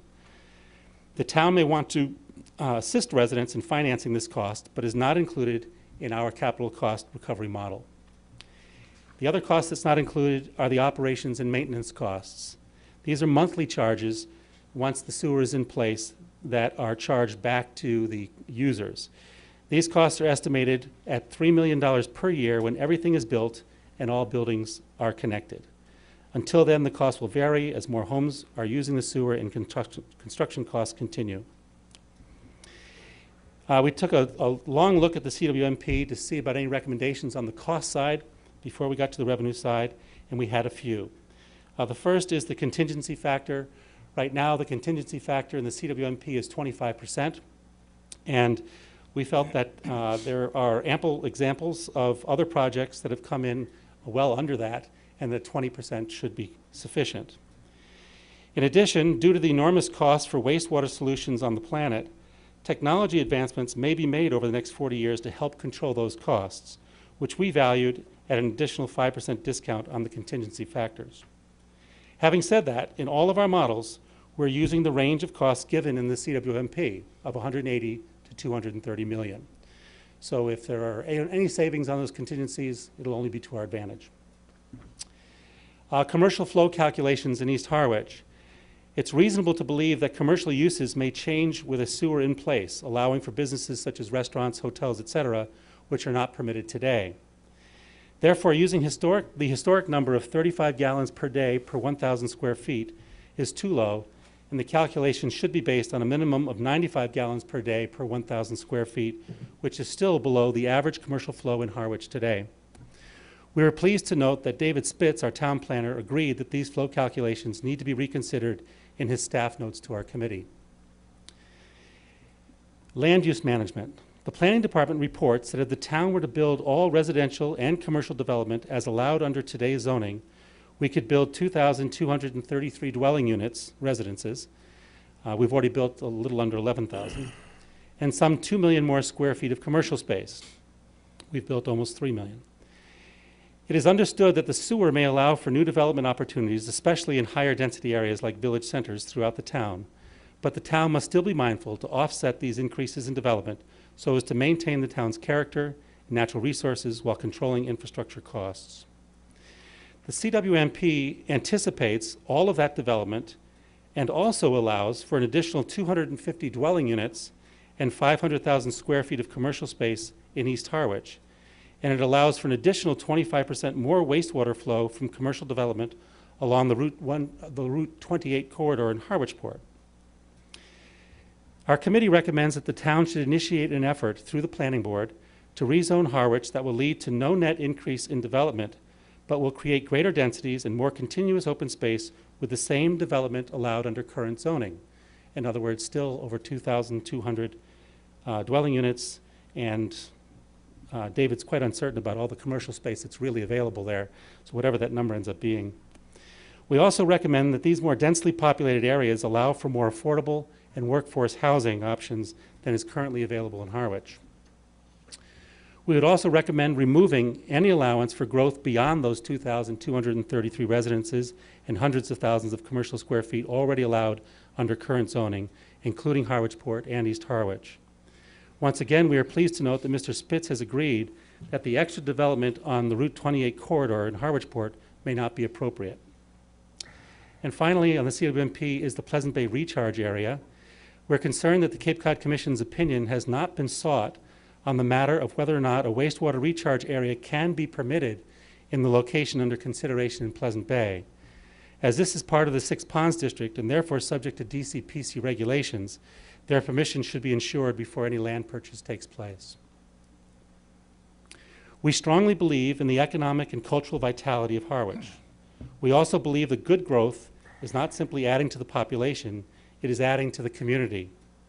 After all, simply adding people for the tax revenue also adds a burden that is likely greater than the tax revenues, such as costs for schools, police, fire, and other town services. It is a net loss proposition unless the growth we encourage benefits the community in other ways, especially economically. This responsible growth will bring much needed vibrancy to the community and more affordable and workforce housing options for current future residents. The ability to build over 2,000 new residents and hundreds of thousands of square feet of commercial space is more than enough when coupled with responsible townwide policies and regulations to create exciting growth. Growth beyond that is costly, irresponsible, and unnecessary, and a no-growth policy is a flawed policy. In addition, it is fully understood in the CWMP that the purpose for installing a wastewater system is to solve the excess nutrient problem and ensure healthy harbors and embayments. The purpose is not to enable additional development beyond the significant development allowed under current zoning and Title V septic today. Every single additional user of wastewater is causing a greater problem and a larger expense. On the revenue side, I'll run through the recommendations on how we might recover these costs over the 60-year period. First of all, we felt it was very important in any revenue model to have multiple sources of revenue so that we have more opportunities to adjust to the economic times and are not dependent on only one source of revenue. So regarding grants and loans, the report shows that we are not anticipating any funding from outside sources such as federal and state grants at this time.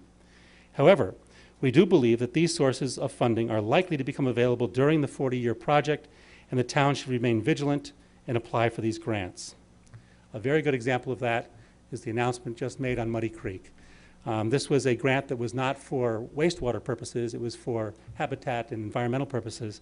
Um, but our very first phase, which had a significant amount of money from Harwich to go to the Muddy Creek uh, project on our capital um, expenses, is no longer going to be required. So all of our predictions are already having to be adjusted in our first day being done. Special low-interest loans, such as the state's Clean Water State Revolving Fund, are available in very small quantities, and their future is uncertain. So we did not include any special low-interest loans in our model. On pages 36 to 38 of the report, you'll find the funding matrix. Uh, the funding matrix outlines our sources of revenue and their percentage impact on the total costs. So, for example, we have betterments. Every residence and business on the sewer will be assessed a betterment fee equal to what they will have saved by not being on Title V. You'll see on page 74 our equation for how we determine what that betterment fee is for a single-family home with a Title V septic system as being $7,000. This betterment fee on, the betterment fee on subdivisions greater than five homes, apartments in a village center, commercial complexes, etc., will require a similar calculation based on the innovative alternative system that will be replaced or not need to be built for those large parcels. And that can be determined by the Board of Health once they know exactly what those uh, IA systems might be required. But as I mentioned earlier, that's one of the sources of revenue that we've not included in our revenue stream. So that would be additional revenue. Then we have a series of impact fees. And the impact fees uh, begin with um, new construction. Uh, If you look at page 26 of your report, you'll see a recap of five years' history in Harwich of what the pace of construction has been. It's roughly 31, I believe, houses that are uh, built in each year on average, uh, and how many additions are done, and so on. And uh, we have a chart that you'll see there that shows what we're recommending for the fee associated with that new, new construction costs. So that uh, the fee for a single-family home, who averages, by the way, three bedrooms according to the Board of Health, is an $18,000 fee. If you're doing an addition to your home uh, and you add a bedroom, it's $6,000 per bedroom. This does not matter if you're in the sewer district or not. This is all construction in town.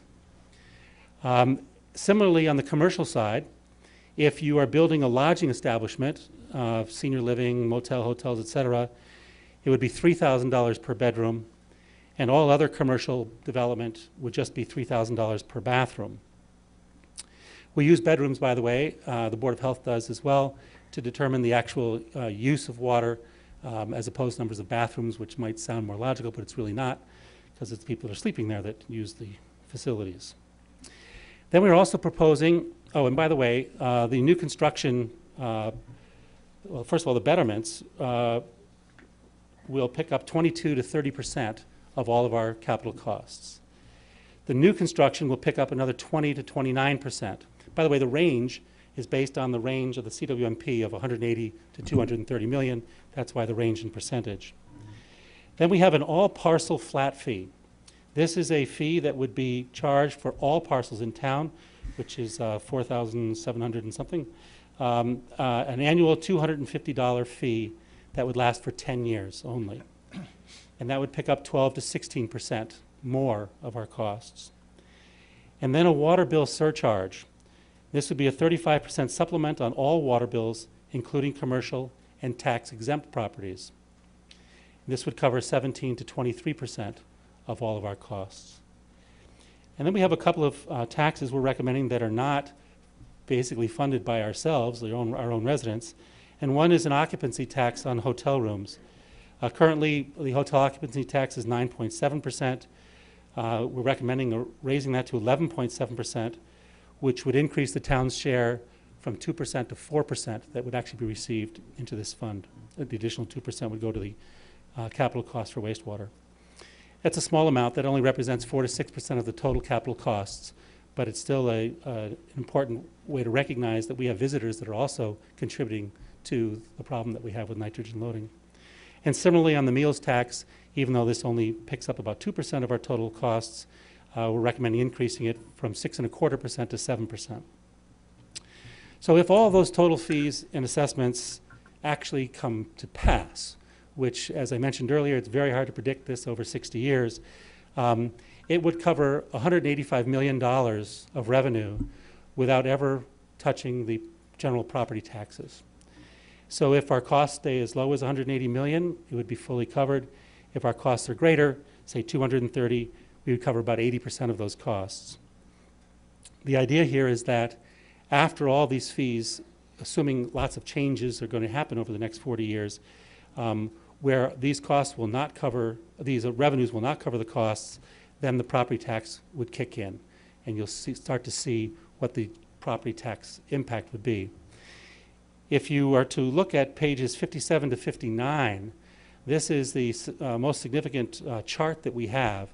This shows all of the uh, costs by bond and all of the various forms of revenue on an annual basis. So every single year, you can see what we're paying out in principal and interest to pay off a bond, and you can see what we're receiving in all of our revenues, and you'll see a net in our fund, whether we have a positive net or negative net, and then that carries forward from year to year. Um, Right now, uh, that chart shows that for 30 years, we remain uh, in the black, positive, all from the fees and services, and we're not needing property taxes until 30 years have passed. Um, And uh, those property taxes vary depending on those particular years, and you can see that in the chart as well. At some point, you may want to have a more detailed uh, discussion on this, and we'll be happy to participate. As you read this chart, here's some assumptions for you to understand, that on the bonding side, we've assumed that each phase will be bonded beginning in the first year of the phase.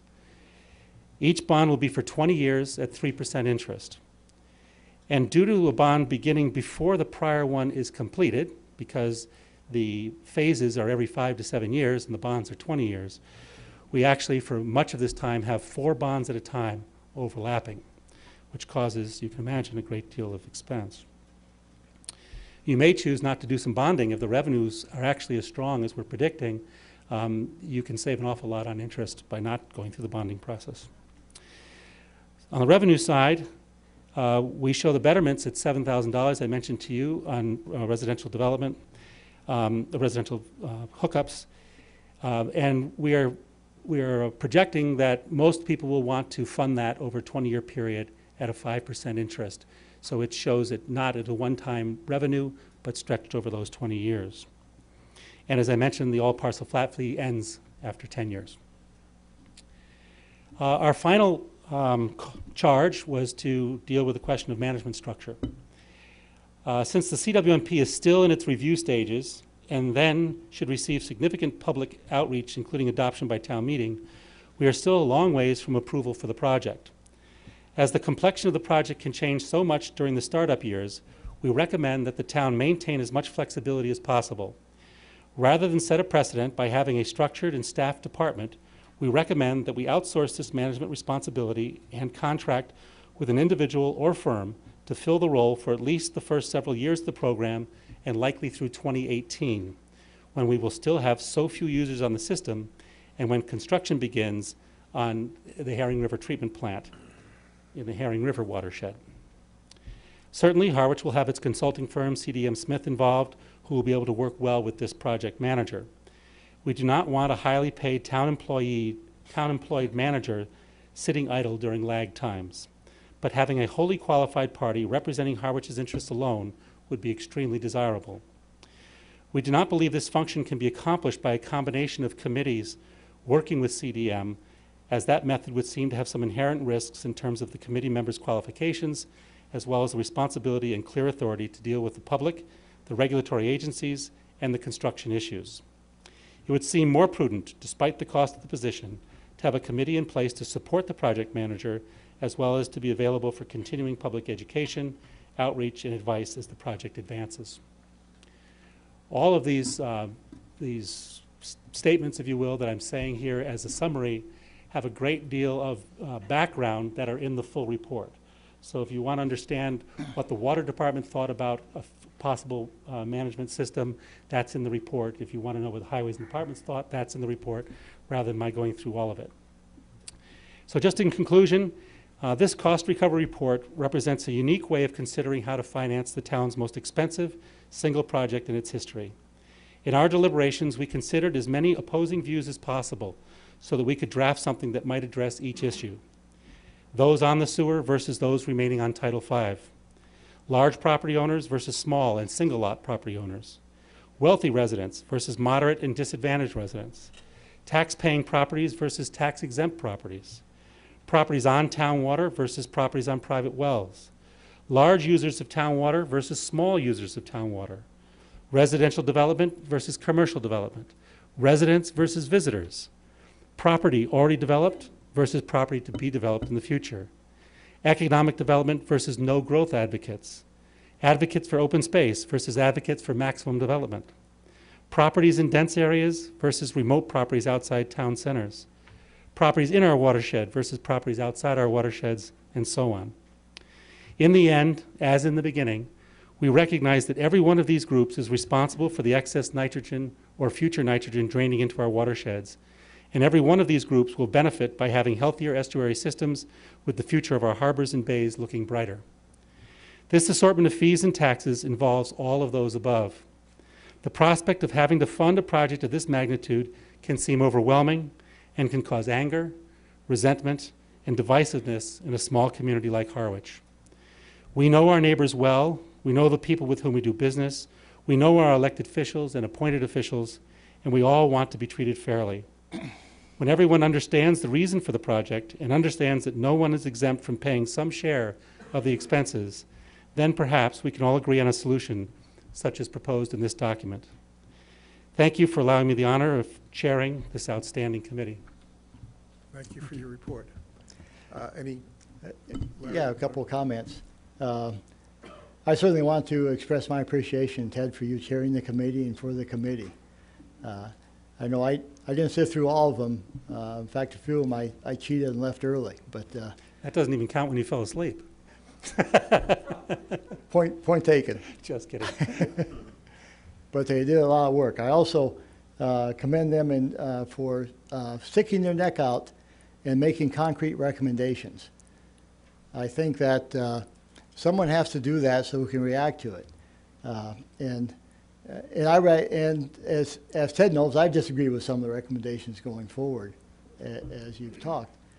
I think for us as a Board of Selectmen, uh, these recommendations are a great discussion point for us to do what's, what's our job now is, is uh, take on the policy issues uh, that are part of those recommendations. Uh, because if, if you look at the list, uh, the allocation, for instance, of uh, fee structures are, are certainly a, a policy decision for us. Uh, you know, the, uh, the, the significant portion of that coming from impact fees, in some, in some sense, will be uh, seen as a, uh, a fighting growth as they go against uh, new construction, for instance. And uh, that does spread it around. You, know, you made a good point, but that's a, a discussion that, that we should have. Uh, the land use policy is, is critical for us. It's uh, in various forms. We've talked, uh, and they talked extensively about that. Uh, but that also is a policy discussion for us, for the uh, uh, planning board, for the town as a whole. Uh, we've, we beat forever, uh, Angela, you keep bringing it up, uh, build out scenarios. We also have inherited in that the statement that this plan is to reduce nitrogen. That's absolutely true. I would argue it's also to address within that framework, as you have, Ted, so I'm not uh, going uh, against what you've said, uh, but address uh, affordable housing and uh, economic development. And we have some good tools in the basic uh, smart growth parameters that are set out by the state and that you've basically referred to in, in, in density growth. We also have to address as, as a policy is the affordability of this, of this entire plan, which this committee uh, grappled with forever, and that's part of the reason for the complex list of fees, is how do we uh, allow a, uh, a vibrant uh, community with all the income levels? And that, again, I think is a policy decision. Uh, There are several of those, and uh, tonight's not tonight to go through those. My proposal, Mr. Chair, is that, that we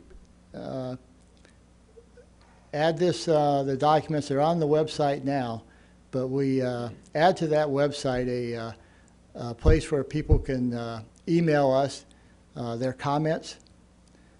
Uh, So it can be done on the internet. We uh, set up uh, at the office, take phone calls on comments on this. I would suggest that that, uh, we allow that a 30 or 60-day uh, timeframe. Uh, And then we hold a, uh, at least one public uh, meeting on this to present this again and start getting the, uh, as much information we can, and I think is our policy decisions on this recommendation, uh, so we can move forward. We're obligated uh, to complete this uh, recommendation for the CWMP uh, early part of next year. And so we can't wait forever and we're into the season, but we need to have a process now to take this, this good work and these recommendations as a starting point and then do our uh, policy discussions, I believe. So uh, that's my recommendation is to con- continue this through a uh, broad advertisement, uh, comments, and then uh, discussions, both here, because ultimately, we need to have this public discussion in- at town meeting. And so we need to move in that direction. Um, Just to follow up on that, um, I may not have stressed enough in here our concerns that the strategic public outreach plan be put together. Um, That's in the hands right now of the Water Quality Task Force, and they're working with the Cape Cod Commission on it, as I mentioned. But boy, before, as part of the public outreach that you're talking about, there's a lot of stuff that can be done between now and then to get the message out as much as possible so people understand the various ways that this can be funded and they can come armed with good information and be well-educated and be able to contribute to the conversation. Uh, I fully agree, and that's one of the dilemmas, uh, dilemmas. Well, yeah, dilemmas we have, I think, is that uh, the committee came up and discussed actually more than they presented, various options for fees. Sure.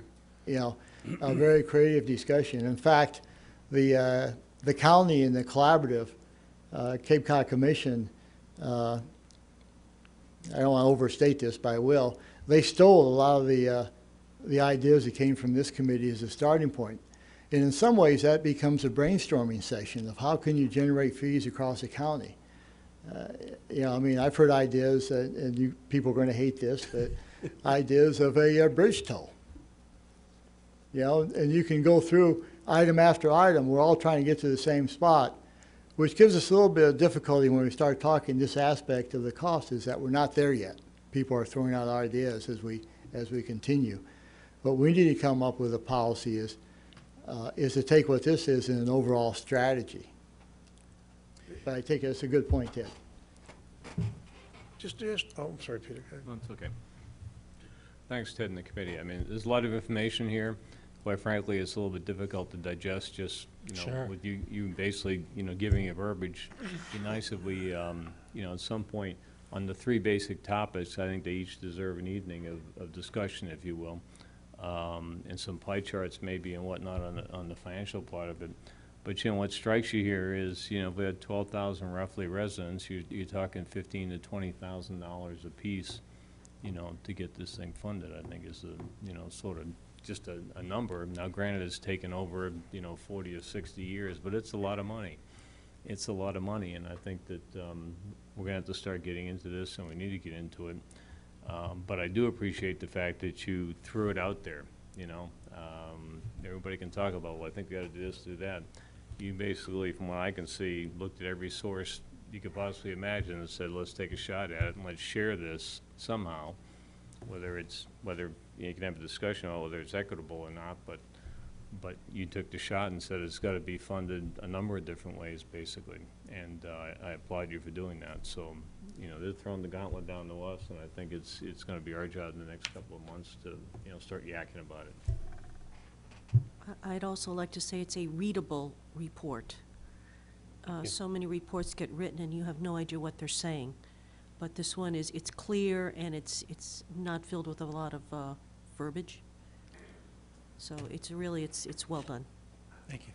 I, I think the, uh, we haven't covered a couple of things that are very important in the conversation today or the report. One is, basically what you're saying is we're all responsible for the sewer treatment plants and whatnot, that just because you don't have uh, a sewer of your, in your own home, that doesn't mean you're not part of the, part of the payment uh, group, because you're part of the problem. And I think it's important to, to establish that we are all together as part of the problem, as, as you've done here. Uh, Then you've listed, I think it was a gazillion, I, I counted, ways of, of, of generating funds, uh, some of which I've never heard of before, but some were, uh, it, it doesn't matter, because what you're saying is we've got to come up with a, a pile of sources of funds that make sense. It may work out that taxes are better than uh, fees because taxes tend to be deductible from ta- your taxes. And that has to be taken into consideration. But at least we know everybody's responsible. There needs to be multiple ways of getting the funds, and we should start soon to do this. because if we can start sooner uh, and start putting the funds away in a revolving fund or, or whatever mechanism it, there is, we might be going the right direction and hold down taxes and fees.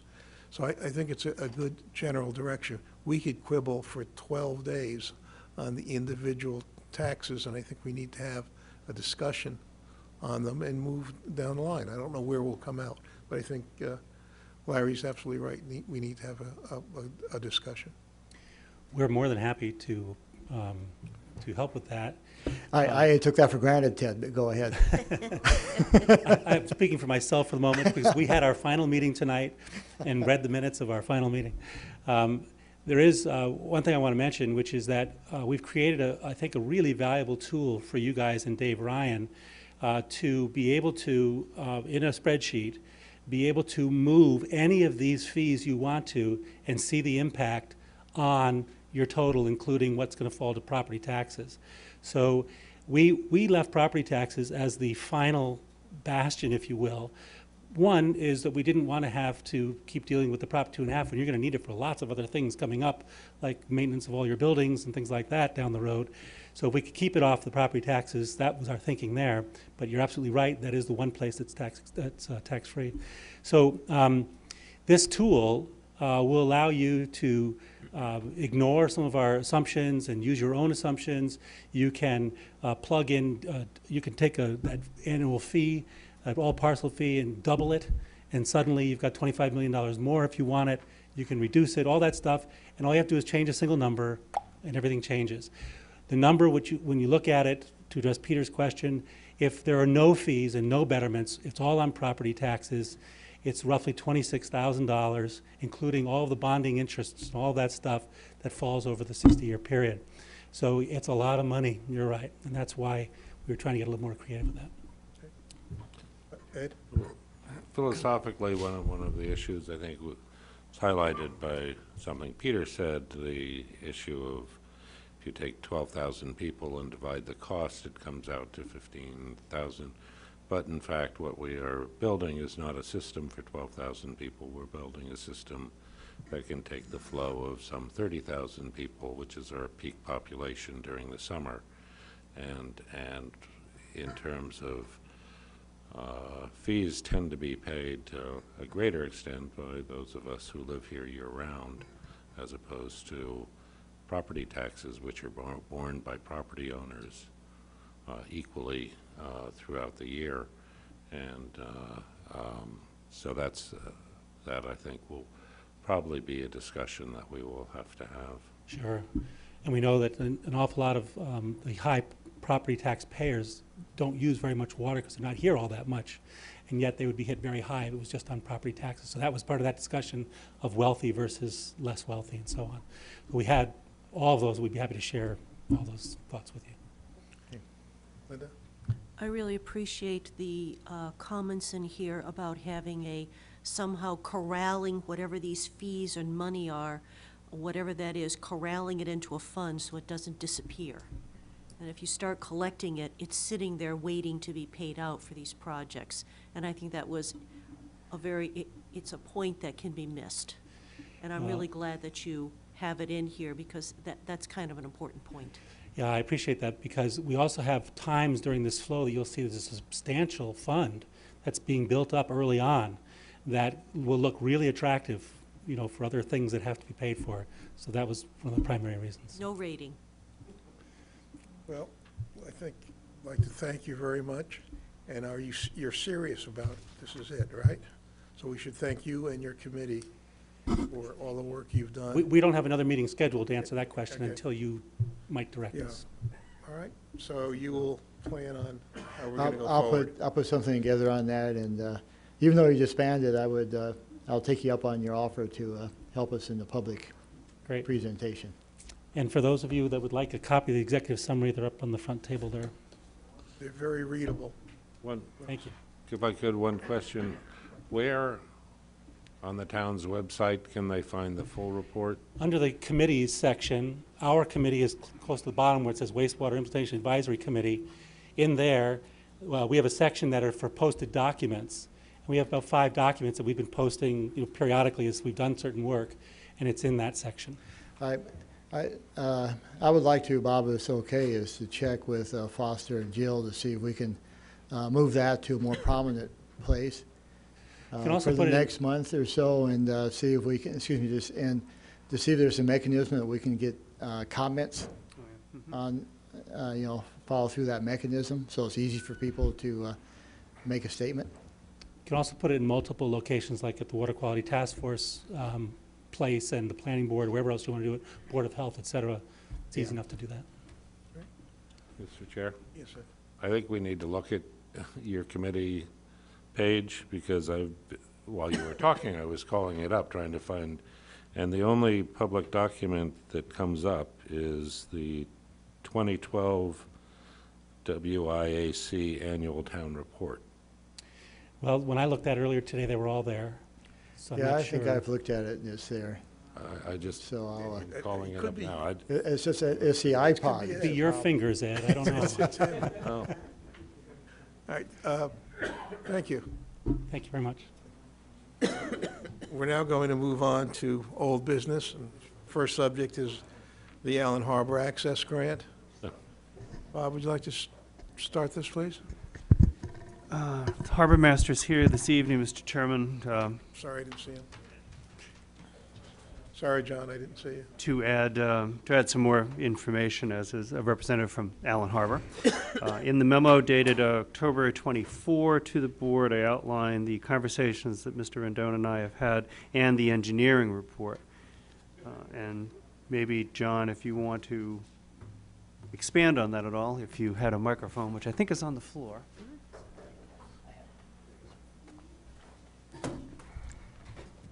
Uh, While they're setting up, Red Sox are up one. Oh, jeez. But in, in summary, it would seem that the So hurry along. requirements of having a uh, im- impervious um, parking lot not only increase the cost, but also raise the height of the parking lot, making it basically unusable by others. So, uh, do you want to give any Yes, more sir. details? That's all right, Mr. Chairman. Mr. Chairman, members of the board, John Rendon, Harbor Master. Um, I, I think you have in your packet uh, what uh, coastal engineering came up with as far as the, the additional estimated cost that it would uh, uh, entail if they went with a traditional uh, drainage system, but I think more importantly, what um, it would do to the lot itself. Um, I didn't see the map on that, John. Can you visual, I I have a difficulty visualizing that. Is it because of drainage, you have to raise the, the level nearest the water so it doesn't go into the water, or what's? Well, I mean, right now, the way that it, it's being designed is with the pervious system is they're, they're gonna elevate the parking lot. And they're gonna elevate it so it all drains towards the middle of the parking lot where this pervious system is in place. And the level that they're raising it is really not that significant. I think it was five inches, uh, you know, at the, at the edge, and over a period of time, they, they grade it so that it's really, doesn't have an impact. By doing the traditional drainage system, it's significant, it's two and a half feet, and Can you, can you do the same Aaron- motions and where that's draining to? I, I just have, I was You having know, a I hard don't time have the visualizing plans it. yet. Uh, They haven't, they didn't provide us the actual engineering plan of the traditional system. This was kind of, they knew we were waiting Hmm. for their assessment. I I got that email that gave that estimated cost, and I haven't actually seen the engineering design of the, of the traditional system. This is just coming from their assessment. So uh, I don't have it yet. They're also talking in their, in their comments about having to increase the height of the bulkheads by two and a half feet. That's right. Uh, it It causes, for some reason, a reduction in the ability to capture stormwater runoff at the boat ramp. Yeah, I read that. I was just having a hard time visualizing why, why the difference. If it's still going to some drainage location, why it was higher. Uh, You know, I just maybe, uh, I'm probably, I'm, I'm sure it's very simple, and I'm just missing it, but. I think that, if I may, I think the difference is with the, um, the pervious pavement that trying to divert the water to a hu- much larger area. Yeah. so you don't need to create as much flow. With the pavement, you'd be trying to direct all the water to a single row of storm So- drains. so that's- So you have to get that water going a lot faster. Okay. It's Like, that's why the edges of the whole thing would have to be up higher to begin with. Okay. Whereas Okay, thank you. Thank you. That helps. Okay. Peter? So, so the bottom line is, when I read here, um, I assume Allen Harbor is okay with finding another location for, for the boat storage. Uh, recommendation is, I believe, to stick with the uh, state reimbursement at the sixty-one percent or whatever. That's, that's my recommendation Yeah, and the harbor and go master. Yes, sir. forward.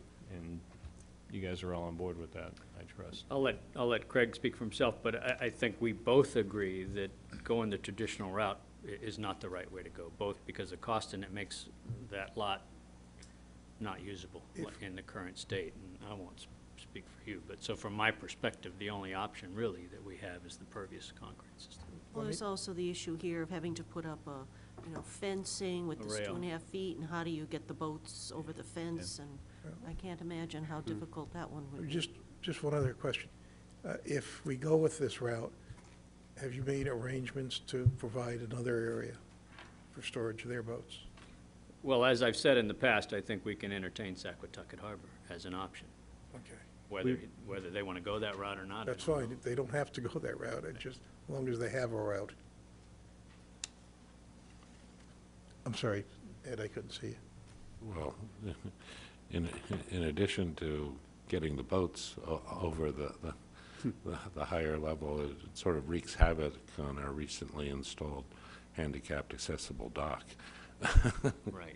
You'd add an extra Mhm. uh, 20, uh, 30 feet onto the length of the runway uh, to take up for the, you know, so um, with that, I'd move, uh, make a motion that we move ahead with, um, uh, I I see Yeah. somebody getting nervous. I just He would like to- Want to make a few points if I could? Sure. Um, We are in agreement. I can't argue that it would make any sense to go with the asphalt. It's just way too much work. Um, But there are a couple of points I'd like to raise. When we've looked at the option of storage on the pervious pavement or storage at Saquotucket, um, there would be limiting factors in both areas to what we could do. Um, Over the pervious pavement, we'd be restricted um, in a lot of ways, especially with discharge of any type of liquid through a variety of functions. Um, At Saquotucket, being on asphalt, it may be not as restrictive, but it's also a mile and a half or whatever it is. So if you back in the transportation costs, we s- started to think about, are there, is the parking lot, would it be all that bad on the pervious pavement? Um, And the things kind of cancel each other out. We, we would be still interested in renting the town lot with the pervious pavement strictly for storage and any activities that wouldn't go against the regulations as far as discharge into the pervious pavement. So that's, we're back to the sixty-eight thousand dollar differential. You had asked previously if we'd be willing to front that and have it come out of the lease payments in some form. Um, While we're not in a position to front that sixty-eight thousand, um, in large part due to the- the dredging expense that just came up, we would be interested in continuing to rent the town parking lot at Allen Harbor, even with the pervious service, surface. um, If somehow that sixty-eight thousand could be spread over the life of a longer lease, ten years maybe as an example, and we'd be willing to contribute in that fashion. I know that the, the idea of the town coming up with the money initially has been sort of a, um, a sore spot.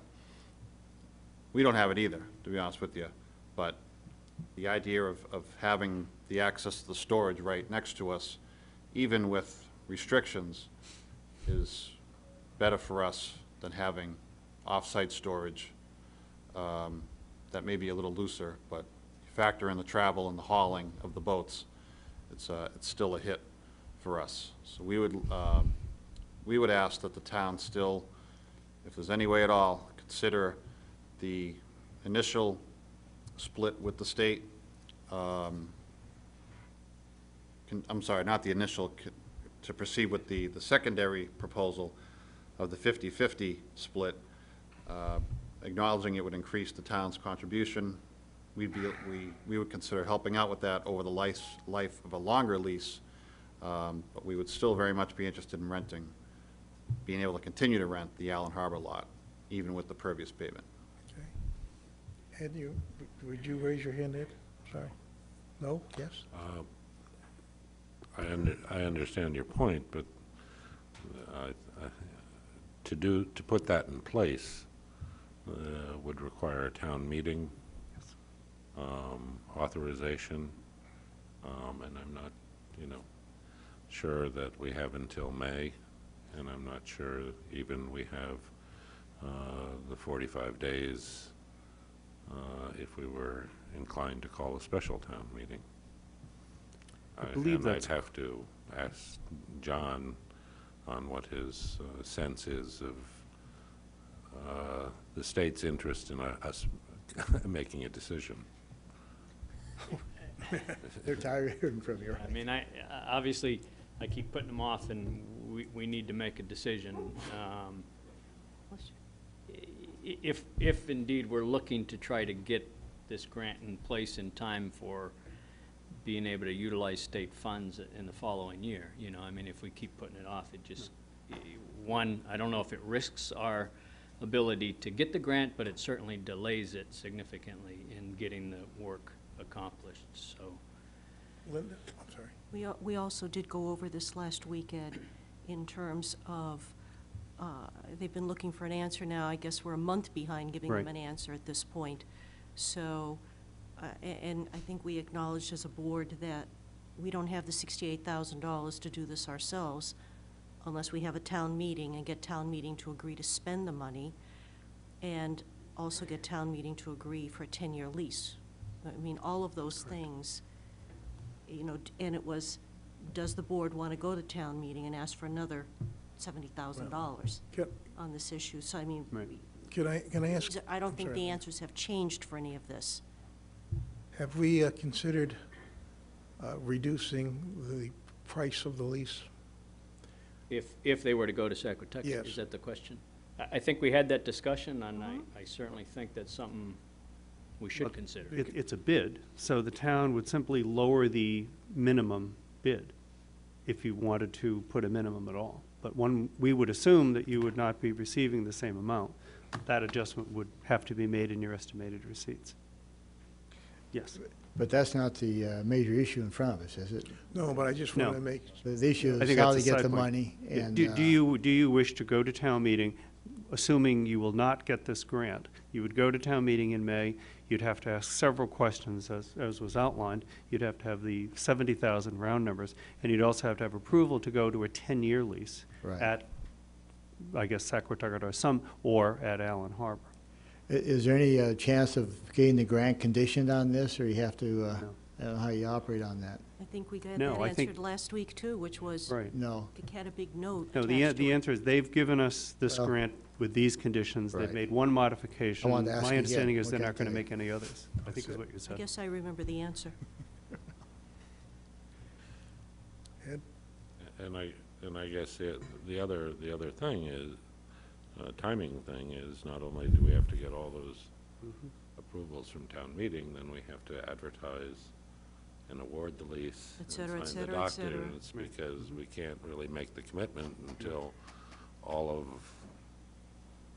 our documents are, are, you know, so we're, we're talking probably, uh, if we voted tonight to do a special town meeting, we're probably talking about not being able to make an agreement with the state until sometime late February or March.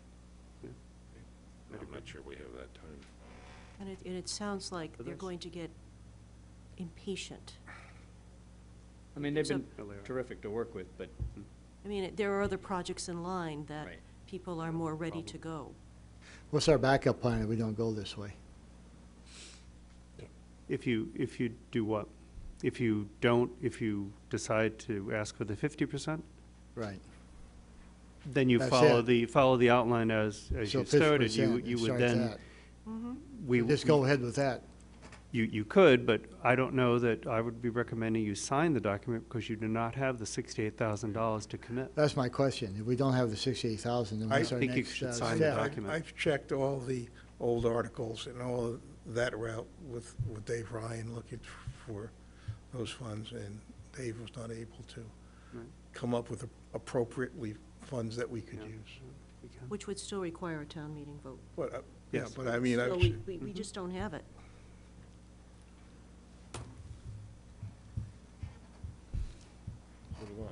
I would like a, I'd like a motion. Mr. Chair, Go ahead. I'd move that we, I'm not sure exactly what, what our step is, but to, uh, I, I guess, inform the Seaport Advisory Committee? Is it, no, it's It's the, the, it's public access, it's the uh, Department of Fish and Game, and essentially, we need to commit uh, to the percentages that we're willing to go forward with, and then they would develop, a they would draft a land Okay. management agreement for your signature to move forward with the grant. I'd move that we uh, direct staff to inform the Division of Boating, uh, Boating and Waterways, Public Access Division, that we'll be moving ahead with uh, a grant uh, with a sixty-eight percent state participation. It would be sixty-one point two 61 percent per state two, and yeah. thirty-eight point eight with us. Second.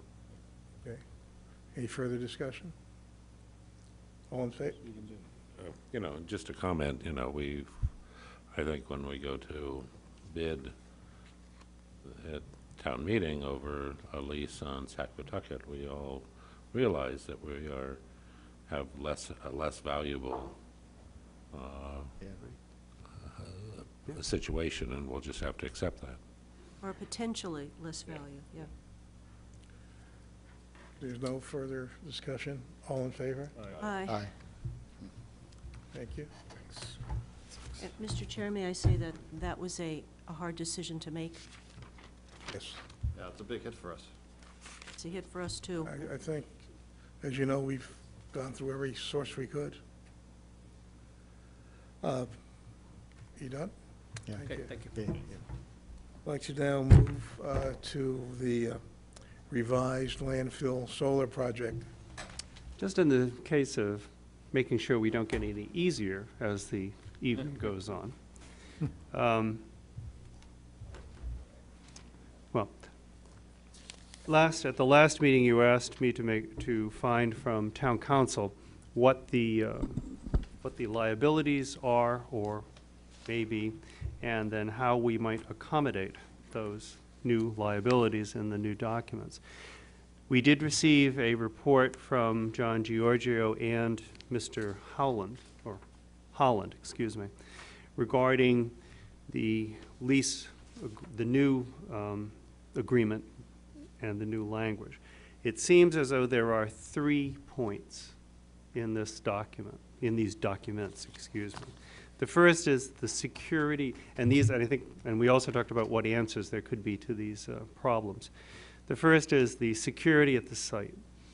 It's my understanding that as part of the contract, uh, ACE uh, Solar will be putting in a, um, some type of a fenced area.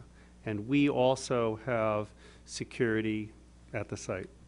So I believe that that is not an extensive liability, and we, while we don't like it, we can live with the language. In the second instance, it is the incompati- incompatibility land use to activities on abutting property. In looking at the property, and uh, Mr. Hughes nicely brought in the bigger map, and it does show, um, which I had not seen but was brought to my attention today, that um, in all likelihood, there is going to be nothing constructed that is going to significantly shade this area.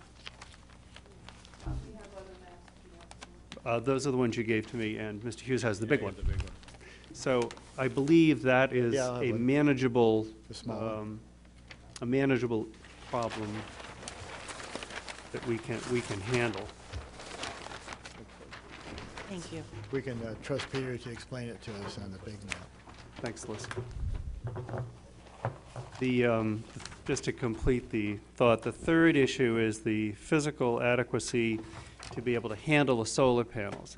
And what that means is, according to the attorney, and then dealing with, uh, talking with Link Hooper, is can we certify or be comfortable that the site where these things are going to be placed is stable? Because if it is not stable and the ground shifts, except for an act of God, uh, we may have some liability there. Uh, Mr. Hooper tells me that, yes, he has had some engineering done before when the site was closed, and he is confident that the, uh, the site is stable, uh, and there has also been no movement at that particular location since the site was closed. Now, the, and I won't get into the issue of what Dennis did or didn't do. In, in summary, the town of Dennis started from ground zero and was able to have all of the language negotiated. We are, we and the other towns are not in that position. Um, It does seem, uh, according to counsel, that if you determine not to sign this agreement, that we will not be able to secure the benefits, albeit that they've gone down a little bit, that we, um, that uh, if we tried to do it on our own or did it in a later round, that counsel tells me that the, the benefits are the best we're going to get on this. Now, what I'd suggest is that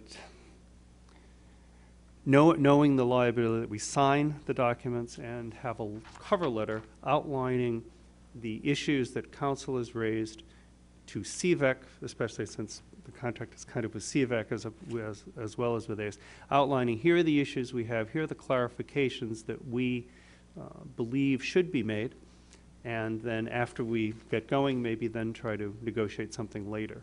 But at least be on record that we have issues and we have maybe a different opinion, or this is the interpretation we choose to make of the words that are in this document, which I guess cannot be changed. So, bottom line is, if we want the contr if you want this to go forward, I think we need to sign the documents as presented. Okay. Any other comments? I make a Uh, motion, we sign the, uh, sign the documents. Yeah. I second it. We want to hear from Barry and gang, but it seems like we don't have much I of, don't know, uh, but- but ma- I well, think- many options right now. And, and if I could, Mr. Chairman, I, I would say that, uh, you know, on the topic of, of shading, if you will, um, you know, basically, we look at Queen Anne Road as, oh, there's the north right there. See, we missed it. Oh, we missed it. Ah, All it right. is. We Queen- couldn't Queen- find north but on the- Obviously, you want to aim these solar panels south, and Queen Anne Road basically goes pretty much east-west. And uh, the orientation of the, the panels obviously is- is towards the south, and, and as mentioned in one of the documents, the town owns most of the land that's um, south, with the exception of one property, and you'd have to build something that was over, over 80 feet in height, if I remember, um, on the south side, if you will, to uh, have any effect at all on the uh, sun shining on, Mhm. on the uh, solar panels, and, you know, we're restricted to a- a 30-foot height at the moment, and, you know, uh, anybody worried about cell towers, those are typically up here on Queen Anne Road, which is north, which has no impact at all on this. Uh, Link, you know, has assured uh, uh, Bob that um, he has the documentation that says it's a stable site. And not only do we have some fencing here, but as you Yes, sir. say, the uh, contractor intends to uh, supply, uh, supply uh, fencing and security associated with the site. So, the- of course, there are risks, they don't totally go away, but I think there are reasonable risks and risks we need to take. Uh, I want to recognize the fact that, and remind everybody that, that the revenue from this is what's going into our negotiated um, uh, increases in uh, municipal uh, worker wages, basically. Um, So I really think we need to push forward on this. Linda? Uh, Insurance, uh, Yes. would we be able to have some level of insurance on this should, s- should the ground move or shake and, or Yes, something? I believe you could get that, So and I we can could look get into s- that. We could get That's a some good additional point. insurance that might mitigate risk. You know, if we could insure it, at least it wouldn't be on our tab. We would be paying a premium for it, but But I think if we, if we tied it into our current Maya policy, that would spread the, the, uh, the exposure. I'll find that. please, because I think that that's one thing that Great we idea. can do. I haven't looked at the foundation loadings, but I don't think it's that great. It's not like we're building a fifty-story building. Right, right. These pilings that go down, you know, two hundred feet or something. Um, This is basically distributed throughout the site. I'm just, I'm just talking about the insurance to try to minimize risk. Why don't you make your comment? Eric McLean with American Capital and Energy.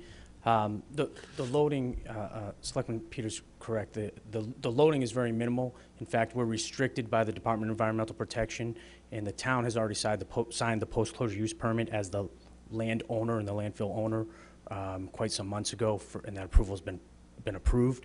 And our loading is less than five pounds per square inch on the entire landfill. So the, the likelihood, from an engineering aspect of any shifts occurring i- is, is very minimal. I would say, unfortunately, this is one of those adders in language that just gets, in reality, is not really truly a risk, and it's just in there. Ed?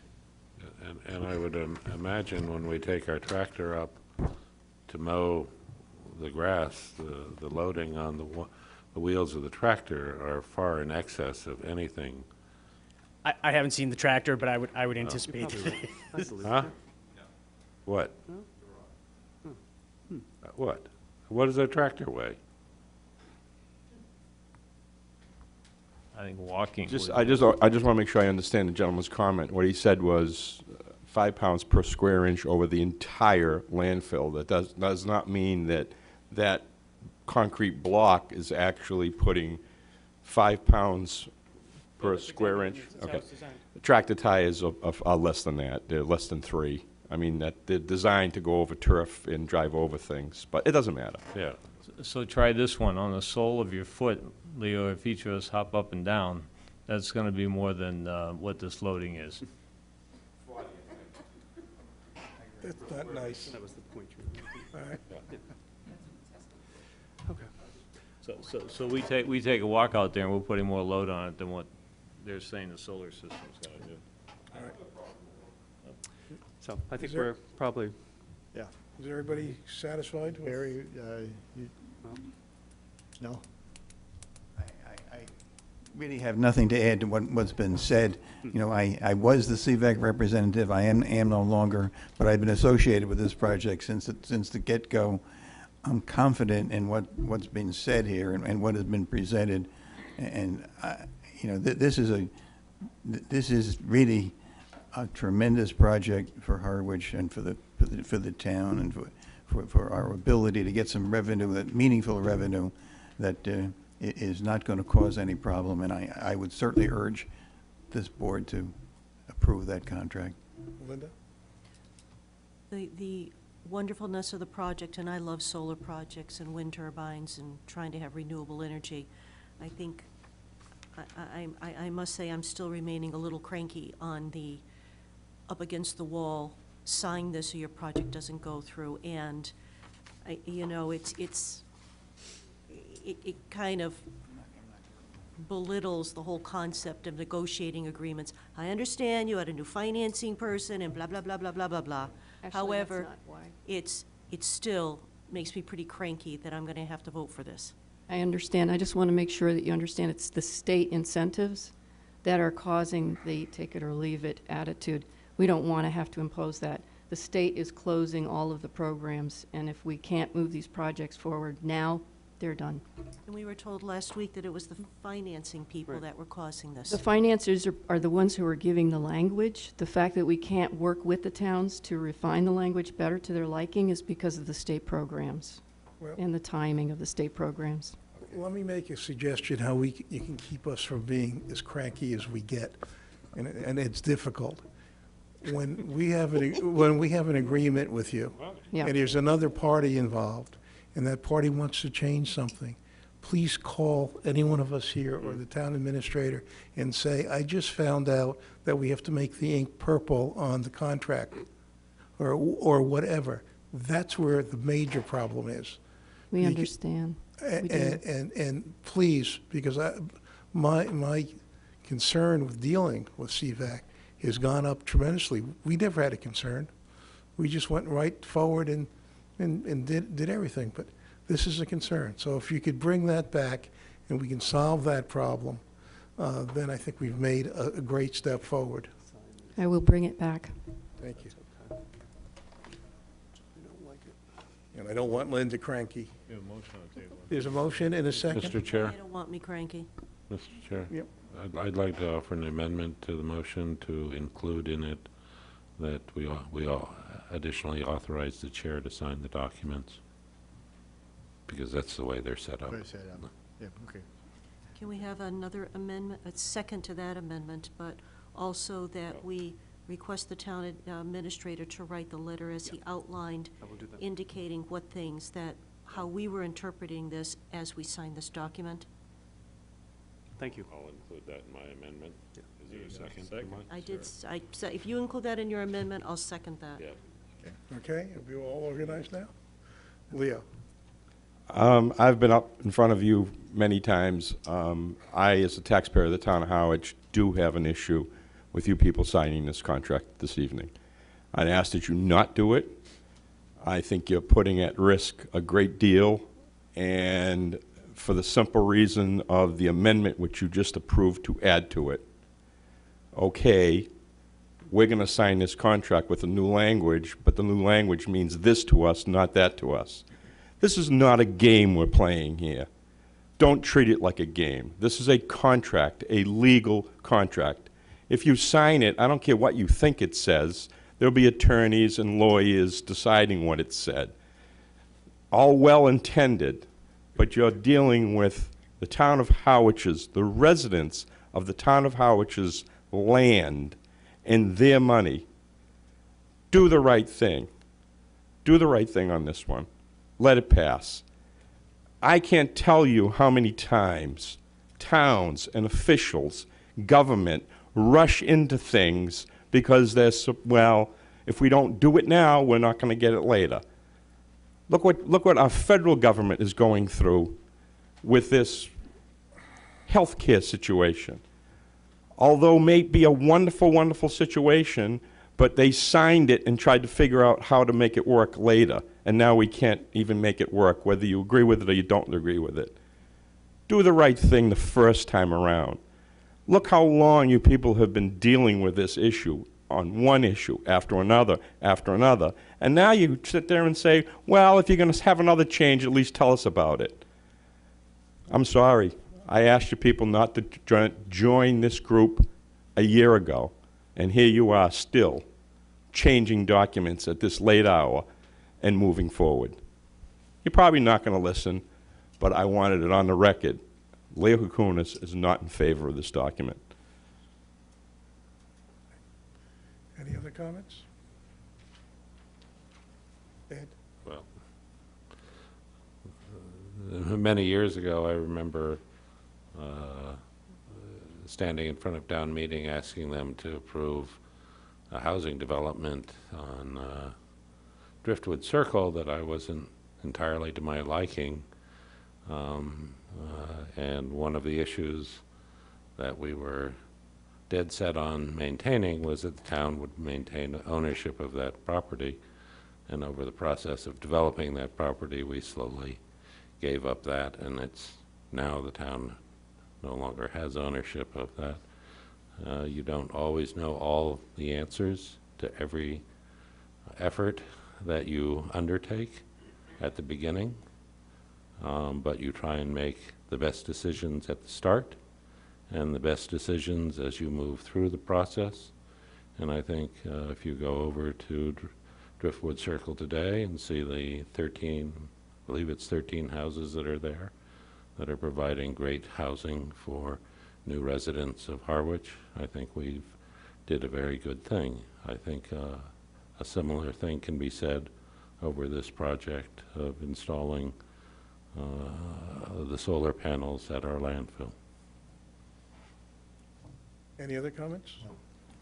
Yeah, We have a motion and we have seconds. All in favor? Aye. Aye. That's done. Could this to Angela? Thank you, Mr. Chairman. We now move uh, to the request of the Golf Commission. I don't see I anyone. don't know if uh, anyone's here. I did talk with the chairman of the Golf Commission this afternoon and reviewed what he had submitted or what had submitted from Brown and Lindquist. Oh. I'm not sure, actually, why you're, you have to deal with this, but in reading the, reading the documentation, it seems to me that this contract has just been adjusted to reflect the dates when studies, et cetera, were submitted. This is mostly past tense. It does try to um, talk about the 120 days, uh, not less than 120 days, to have the uh, project, this first phase of the project completed, which was August 31st.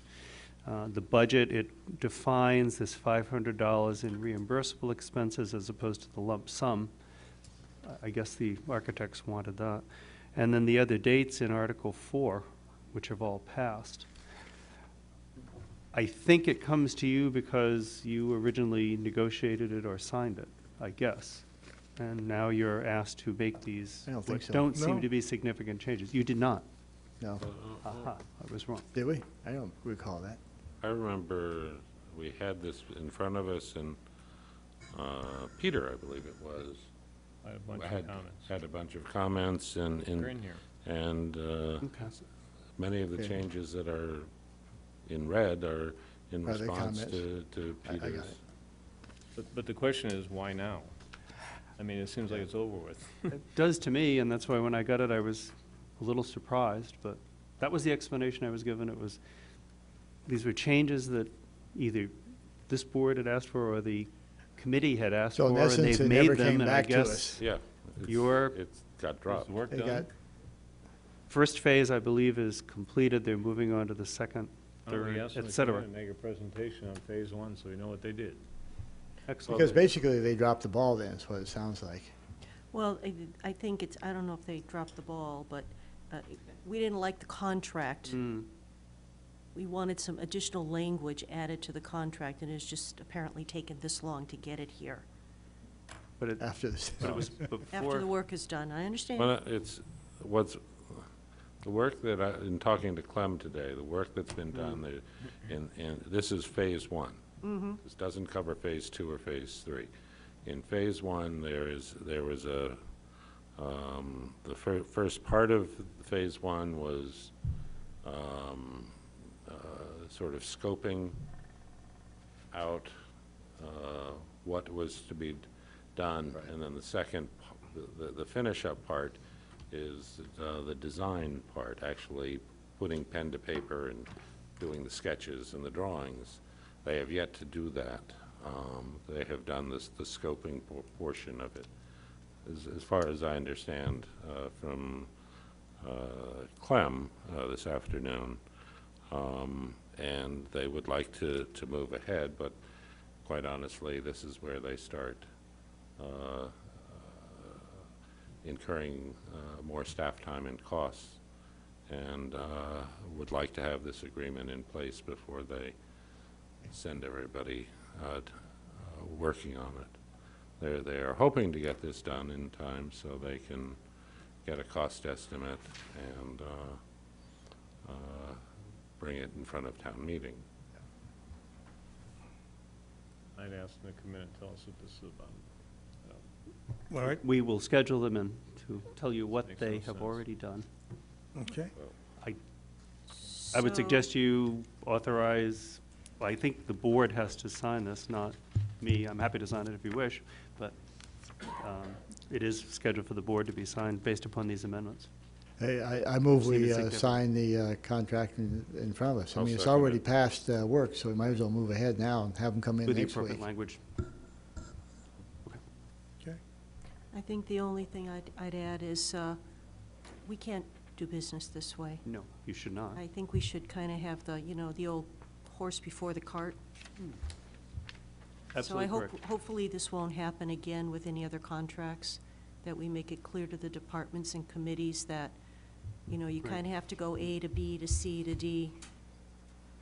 Wha- What's the full value of this contract? I don't know. The only thing I've been presented with is this 27,500. There are other phases. I was not The construction phase, I Given- don't think is known, No, because no, I that's know part that. of I this. was just wondering what Yeah, this. The that'd be next the phase in next- engineering. That'd be the next RFP, once Yeah. they get this. Okay. So there's been a. During their, during their presentation, I would assume that they should make that. So in terms of how we You. play to move forward, Larry, you've recommended, you've made Yeah. a motion, and Yeah. there's a second. Second, Uh, And, th- th- uh, and we also are going to have a request for somebody to come in and, Yes, sir. And cover I'll this. take care of that. okay. If there's no further conversation, all in favor? Aye. aye. Aye. Okay. So it passes. Four to one. Uh, We now, um, there's no new business, so we go to the town administrator's report. After all that? Yeah.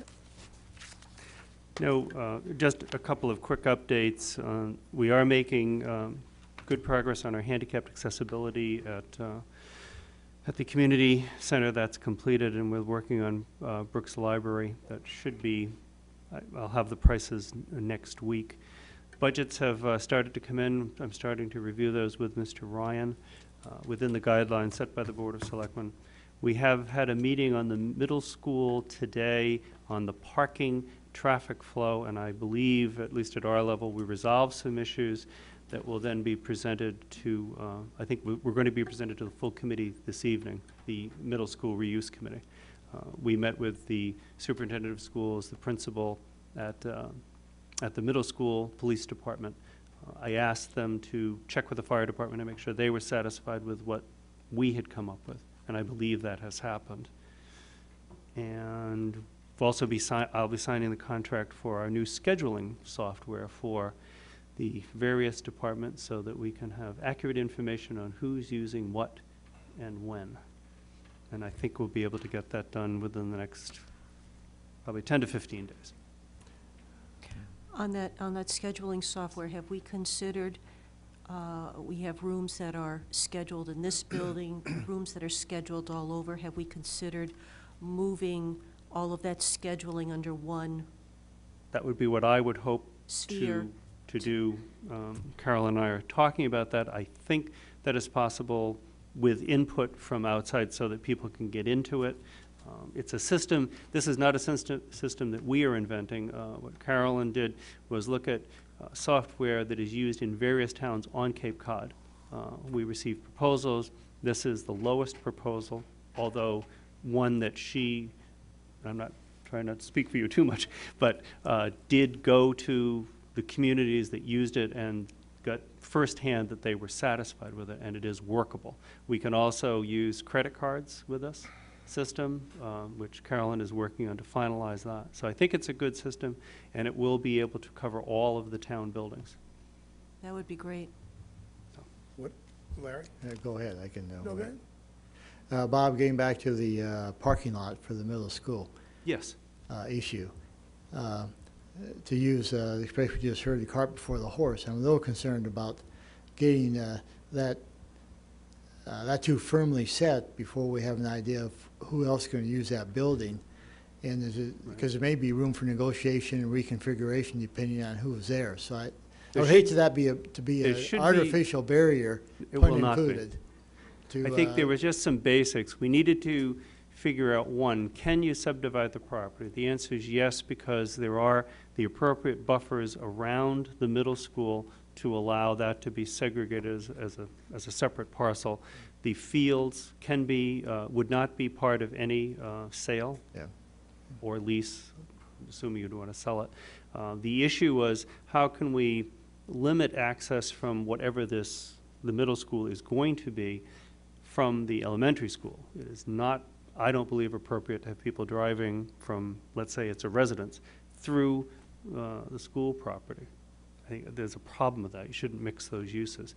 Uh, The plan that was talked about today was to try to create, not at our expense, but at the developer's expense, um, an access road, for lack of a better word, that would go around the perimeter of the property closest to Sisson Road, which would allow all the traffic with student pickup, et cetera, to be contained within the property and not on the road, on Then any of the roads. school property. What would be the school property? Yes, with the access road bordering what we're going to sell or lease. That sounds like a very good discussion. My point remains that Right. I want to be sure that if, that that's not a barrier to using it until we have a discussion on what, I think as part of the bid that's going to be put out, or the request for proposal, is going to be broad enough to allow the developer Some to say to point. us, you need X, Y, or Z, or I can't do this, but I could do this for you. Uh, Use their expertise to try to design something that may be better. But the, the person needs a parameter on what, what is the town's position that we want? What do we want? We need this access road, we need some new parking, uh, the septic is in there. You know, That person is going to have to decide, do you want to use the existing? Do you want to build something new for the elementary school? Well, What, what do yeah, you want to good. do? I mean- We shouldn't make that determination. right. Ed, you had a my comment? point. Yeah, uh, and I think um, Larry's point's well taken, because I saw, did see the diagram of how that access road goes around, and it, it skirts the property, and it segregates the use. It also plates the access road right up against the property owners of all the residential property And that might border not be on it. And preferable. there may be some, uh, some other uh, modifications that the developer could propose Yeah. that wouldn't put all of that traffic right along somebody, the side of somebody's house and across their backyard. What I don't understand is, is why they're keeping, for the elementary school, the route open to Sisson. Because they can just close that road, bring everybody in, I guess it's South Street, Oh. a- and do it that way, It- which is what I thought they were gonna do. It's a- Because that other road was only done relatively recently, well, they, it's a bunch of years now, when they, when they hmm. redid the- the middle school. I mean, it's a whole different thing. And they were told at that time it was a problem. Either I can answer. Well, that again. The gets issue back- is if you, if you are oriented all off of South Street, then all of the cars back up out onto South Street. Not if, Uh, Yes, they do. Uh, You know, you, that's the reality, and, and by uh, bringing it off of Sisson, you allow a queuing line of great length, and you won't have the cars even backing out onto Sisson. The police department said that South Street is, is more narrow than Sisson Road, and it's going to cause more of a problem probably for fire and other people passing and repassing. It's a work in progress, but I think prog- progress has I, been made. I want it to be a good work in sentence, no. progress while we Yeah. go forward. That's Right. my So whole I think we're point. moving forward, I think it's but probably a good but thing. if they came in on South and had a long enough loop and went all the Oh. way up to the other half, they can't do it with the roads they have now, but keep the loop on their side of that line, I think it solves both issues. The- The, we talked about the issue of trying to go around the school because the queuing line would have to go around the elementary school. There are some constrictions that I was talked, Okay. that I was told of today by the planner and by the school.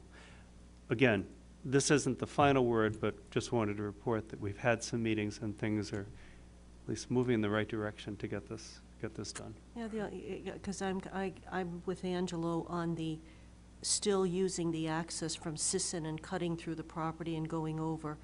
You know, if some of the proposals are going to be housing, mm-hmm. could be elderly housing, and I just have a you know, you talk about the cars on, but I'd, I'd hate to see this line of cars twice a day, uh, and having, you know, somebody who's either Oh. trying to cross and this and that. and That's, it'd we be a just- totally different area. It would not interfere with that. You're correct. That would not be a good situation at all. It would have to be a different access Yeah, driveway, whatever you'd like to call it. Abs- Oh, no, you cannot have the two, no, the two cannot mix. The sketch, there's the Well, I think- existing driveway. it's inter, but uh, I- I'd like to see the sketch. Oh, sure. Because uh, explaining it to me, I, I need No, to right. see the visual. So I, I'd Just a like quick to, update if on we what we're could see doing. a quick update on that, that Yep. would be grand. But we're making progress. That, that was the point. Thank you. You might also want to run it, run it by the planning board, they know something about parking lots. Uh, Mr. Spitz was there, so, Okay. thank you. I, I guess we're down to uh, Selectmen's report. Uh, none for me. It's one to one. Linda, anything for you? It's one-to-one. Thanks, Larry. Linda? Uh, No, I don't have Okay. anything to add.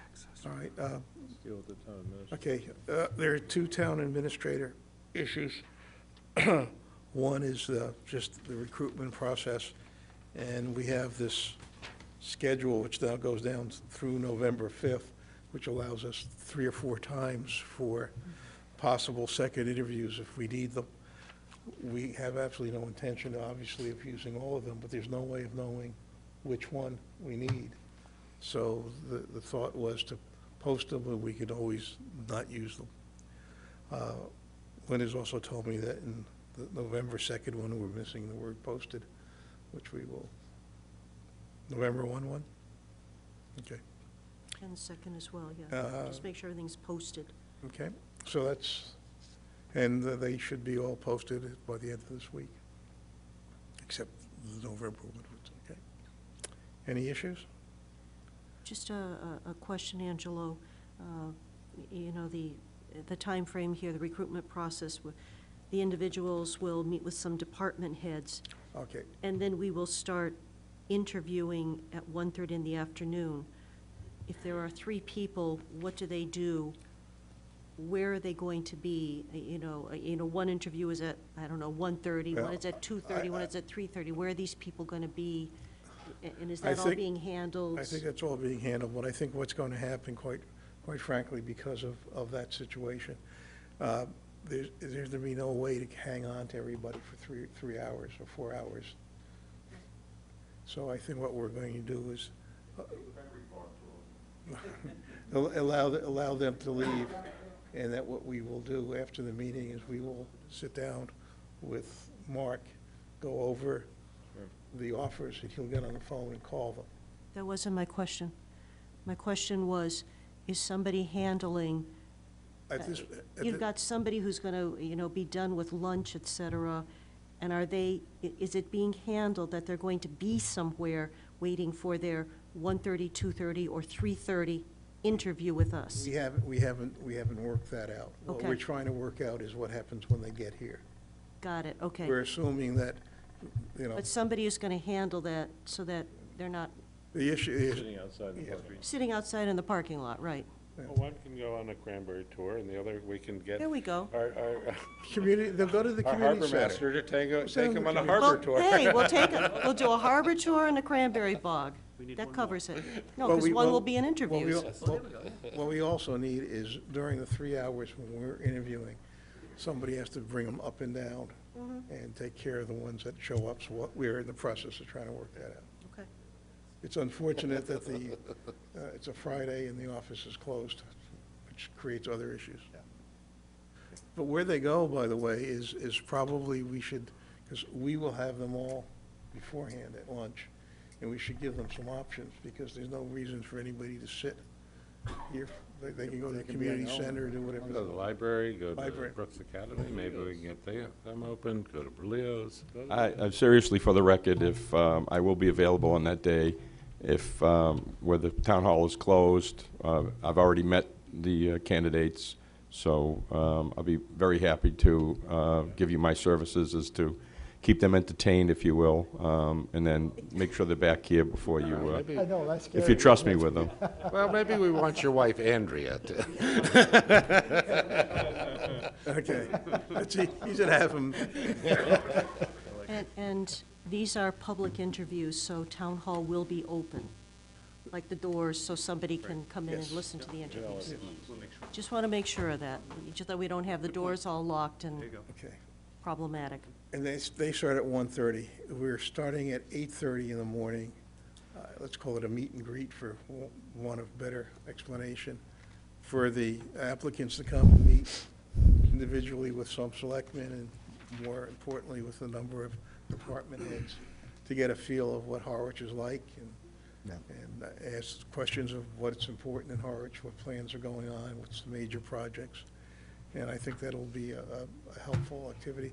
We did it last time, and it. it seemed Worked to- out. And seemed to have worked out. Yep. And that's it. Okay. And we, the the choreography for Friday You're working morning and Friday uh, afternoon has not been completed. In terms of uh, the afternoon, each of the selectmen are gonna have to work out with the department head who stays to meet them where you're driving to the person to the next, you know, but that's just choreography, we can do that. And that's it. If, uh, Ed, do you have any comments? Nope. Peter? Very good, thank you. Well, then if somebody want to adjourn, so, Move to adjourn. is there a second? Second. Favor? Play ball.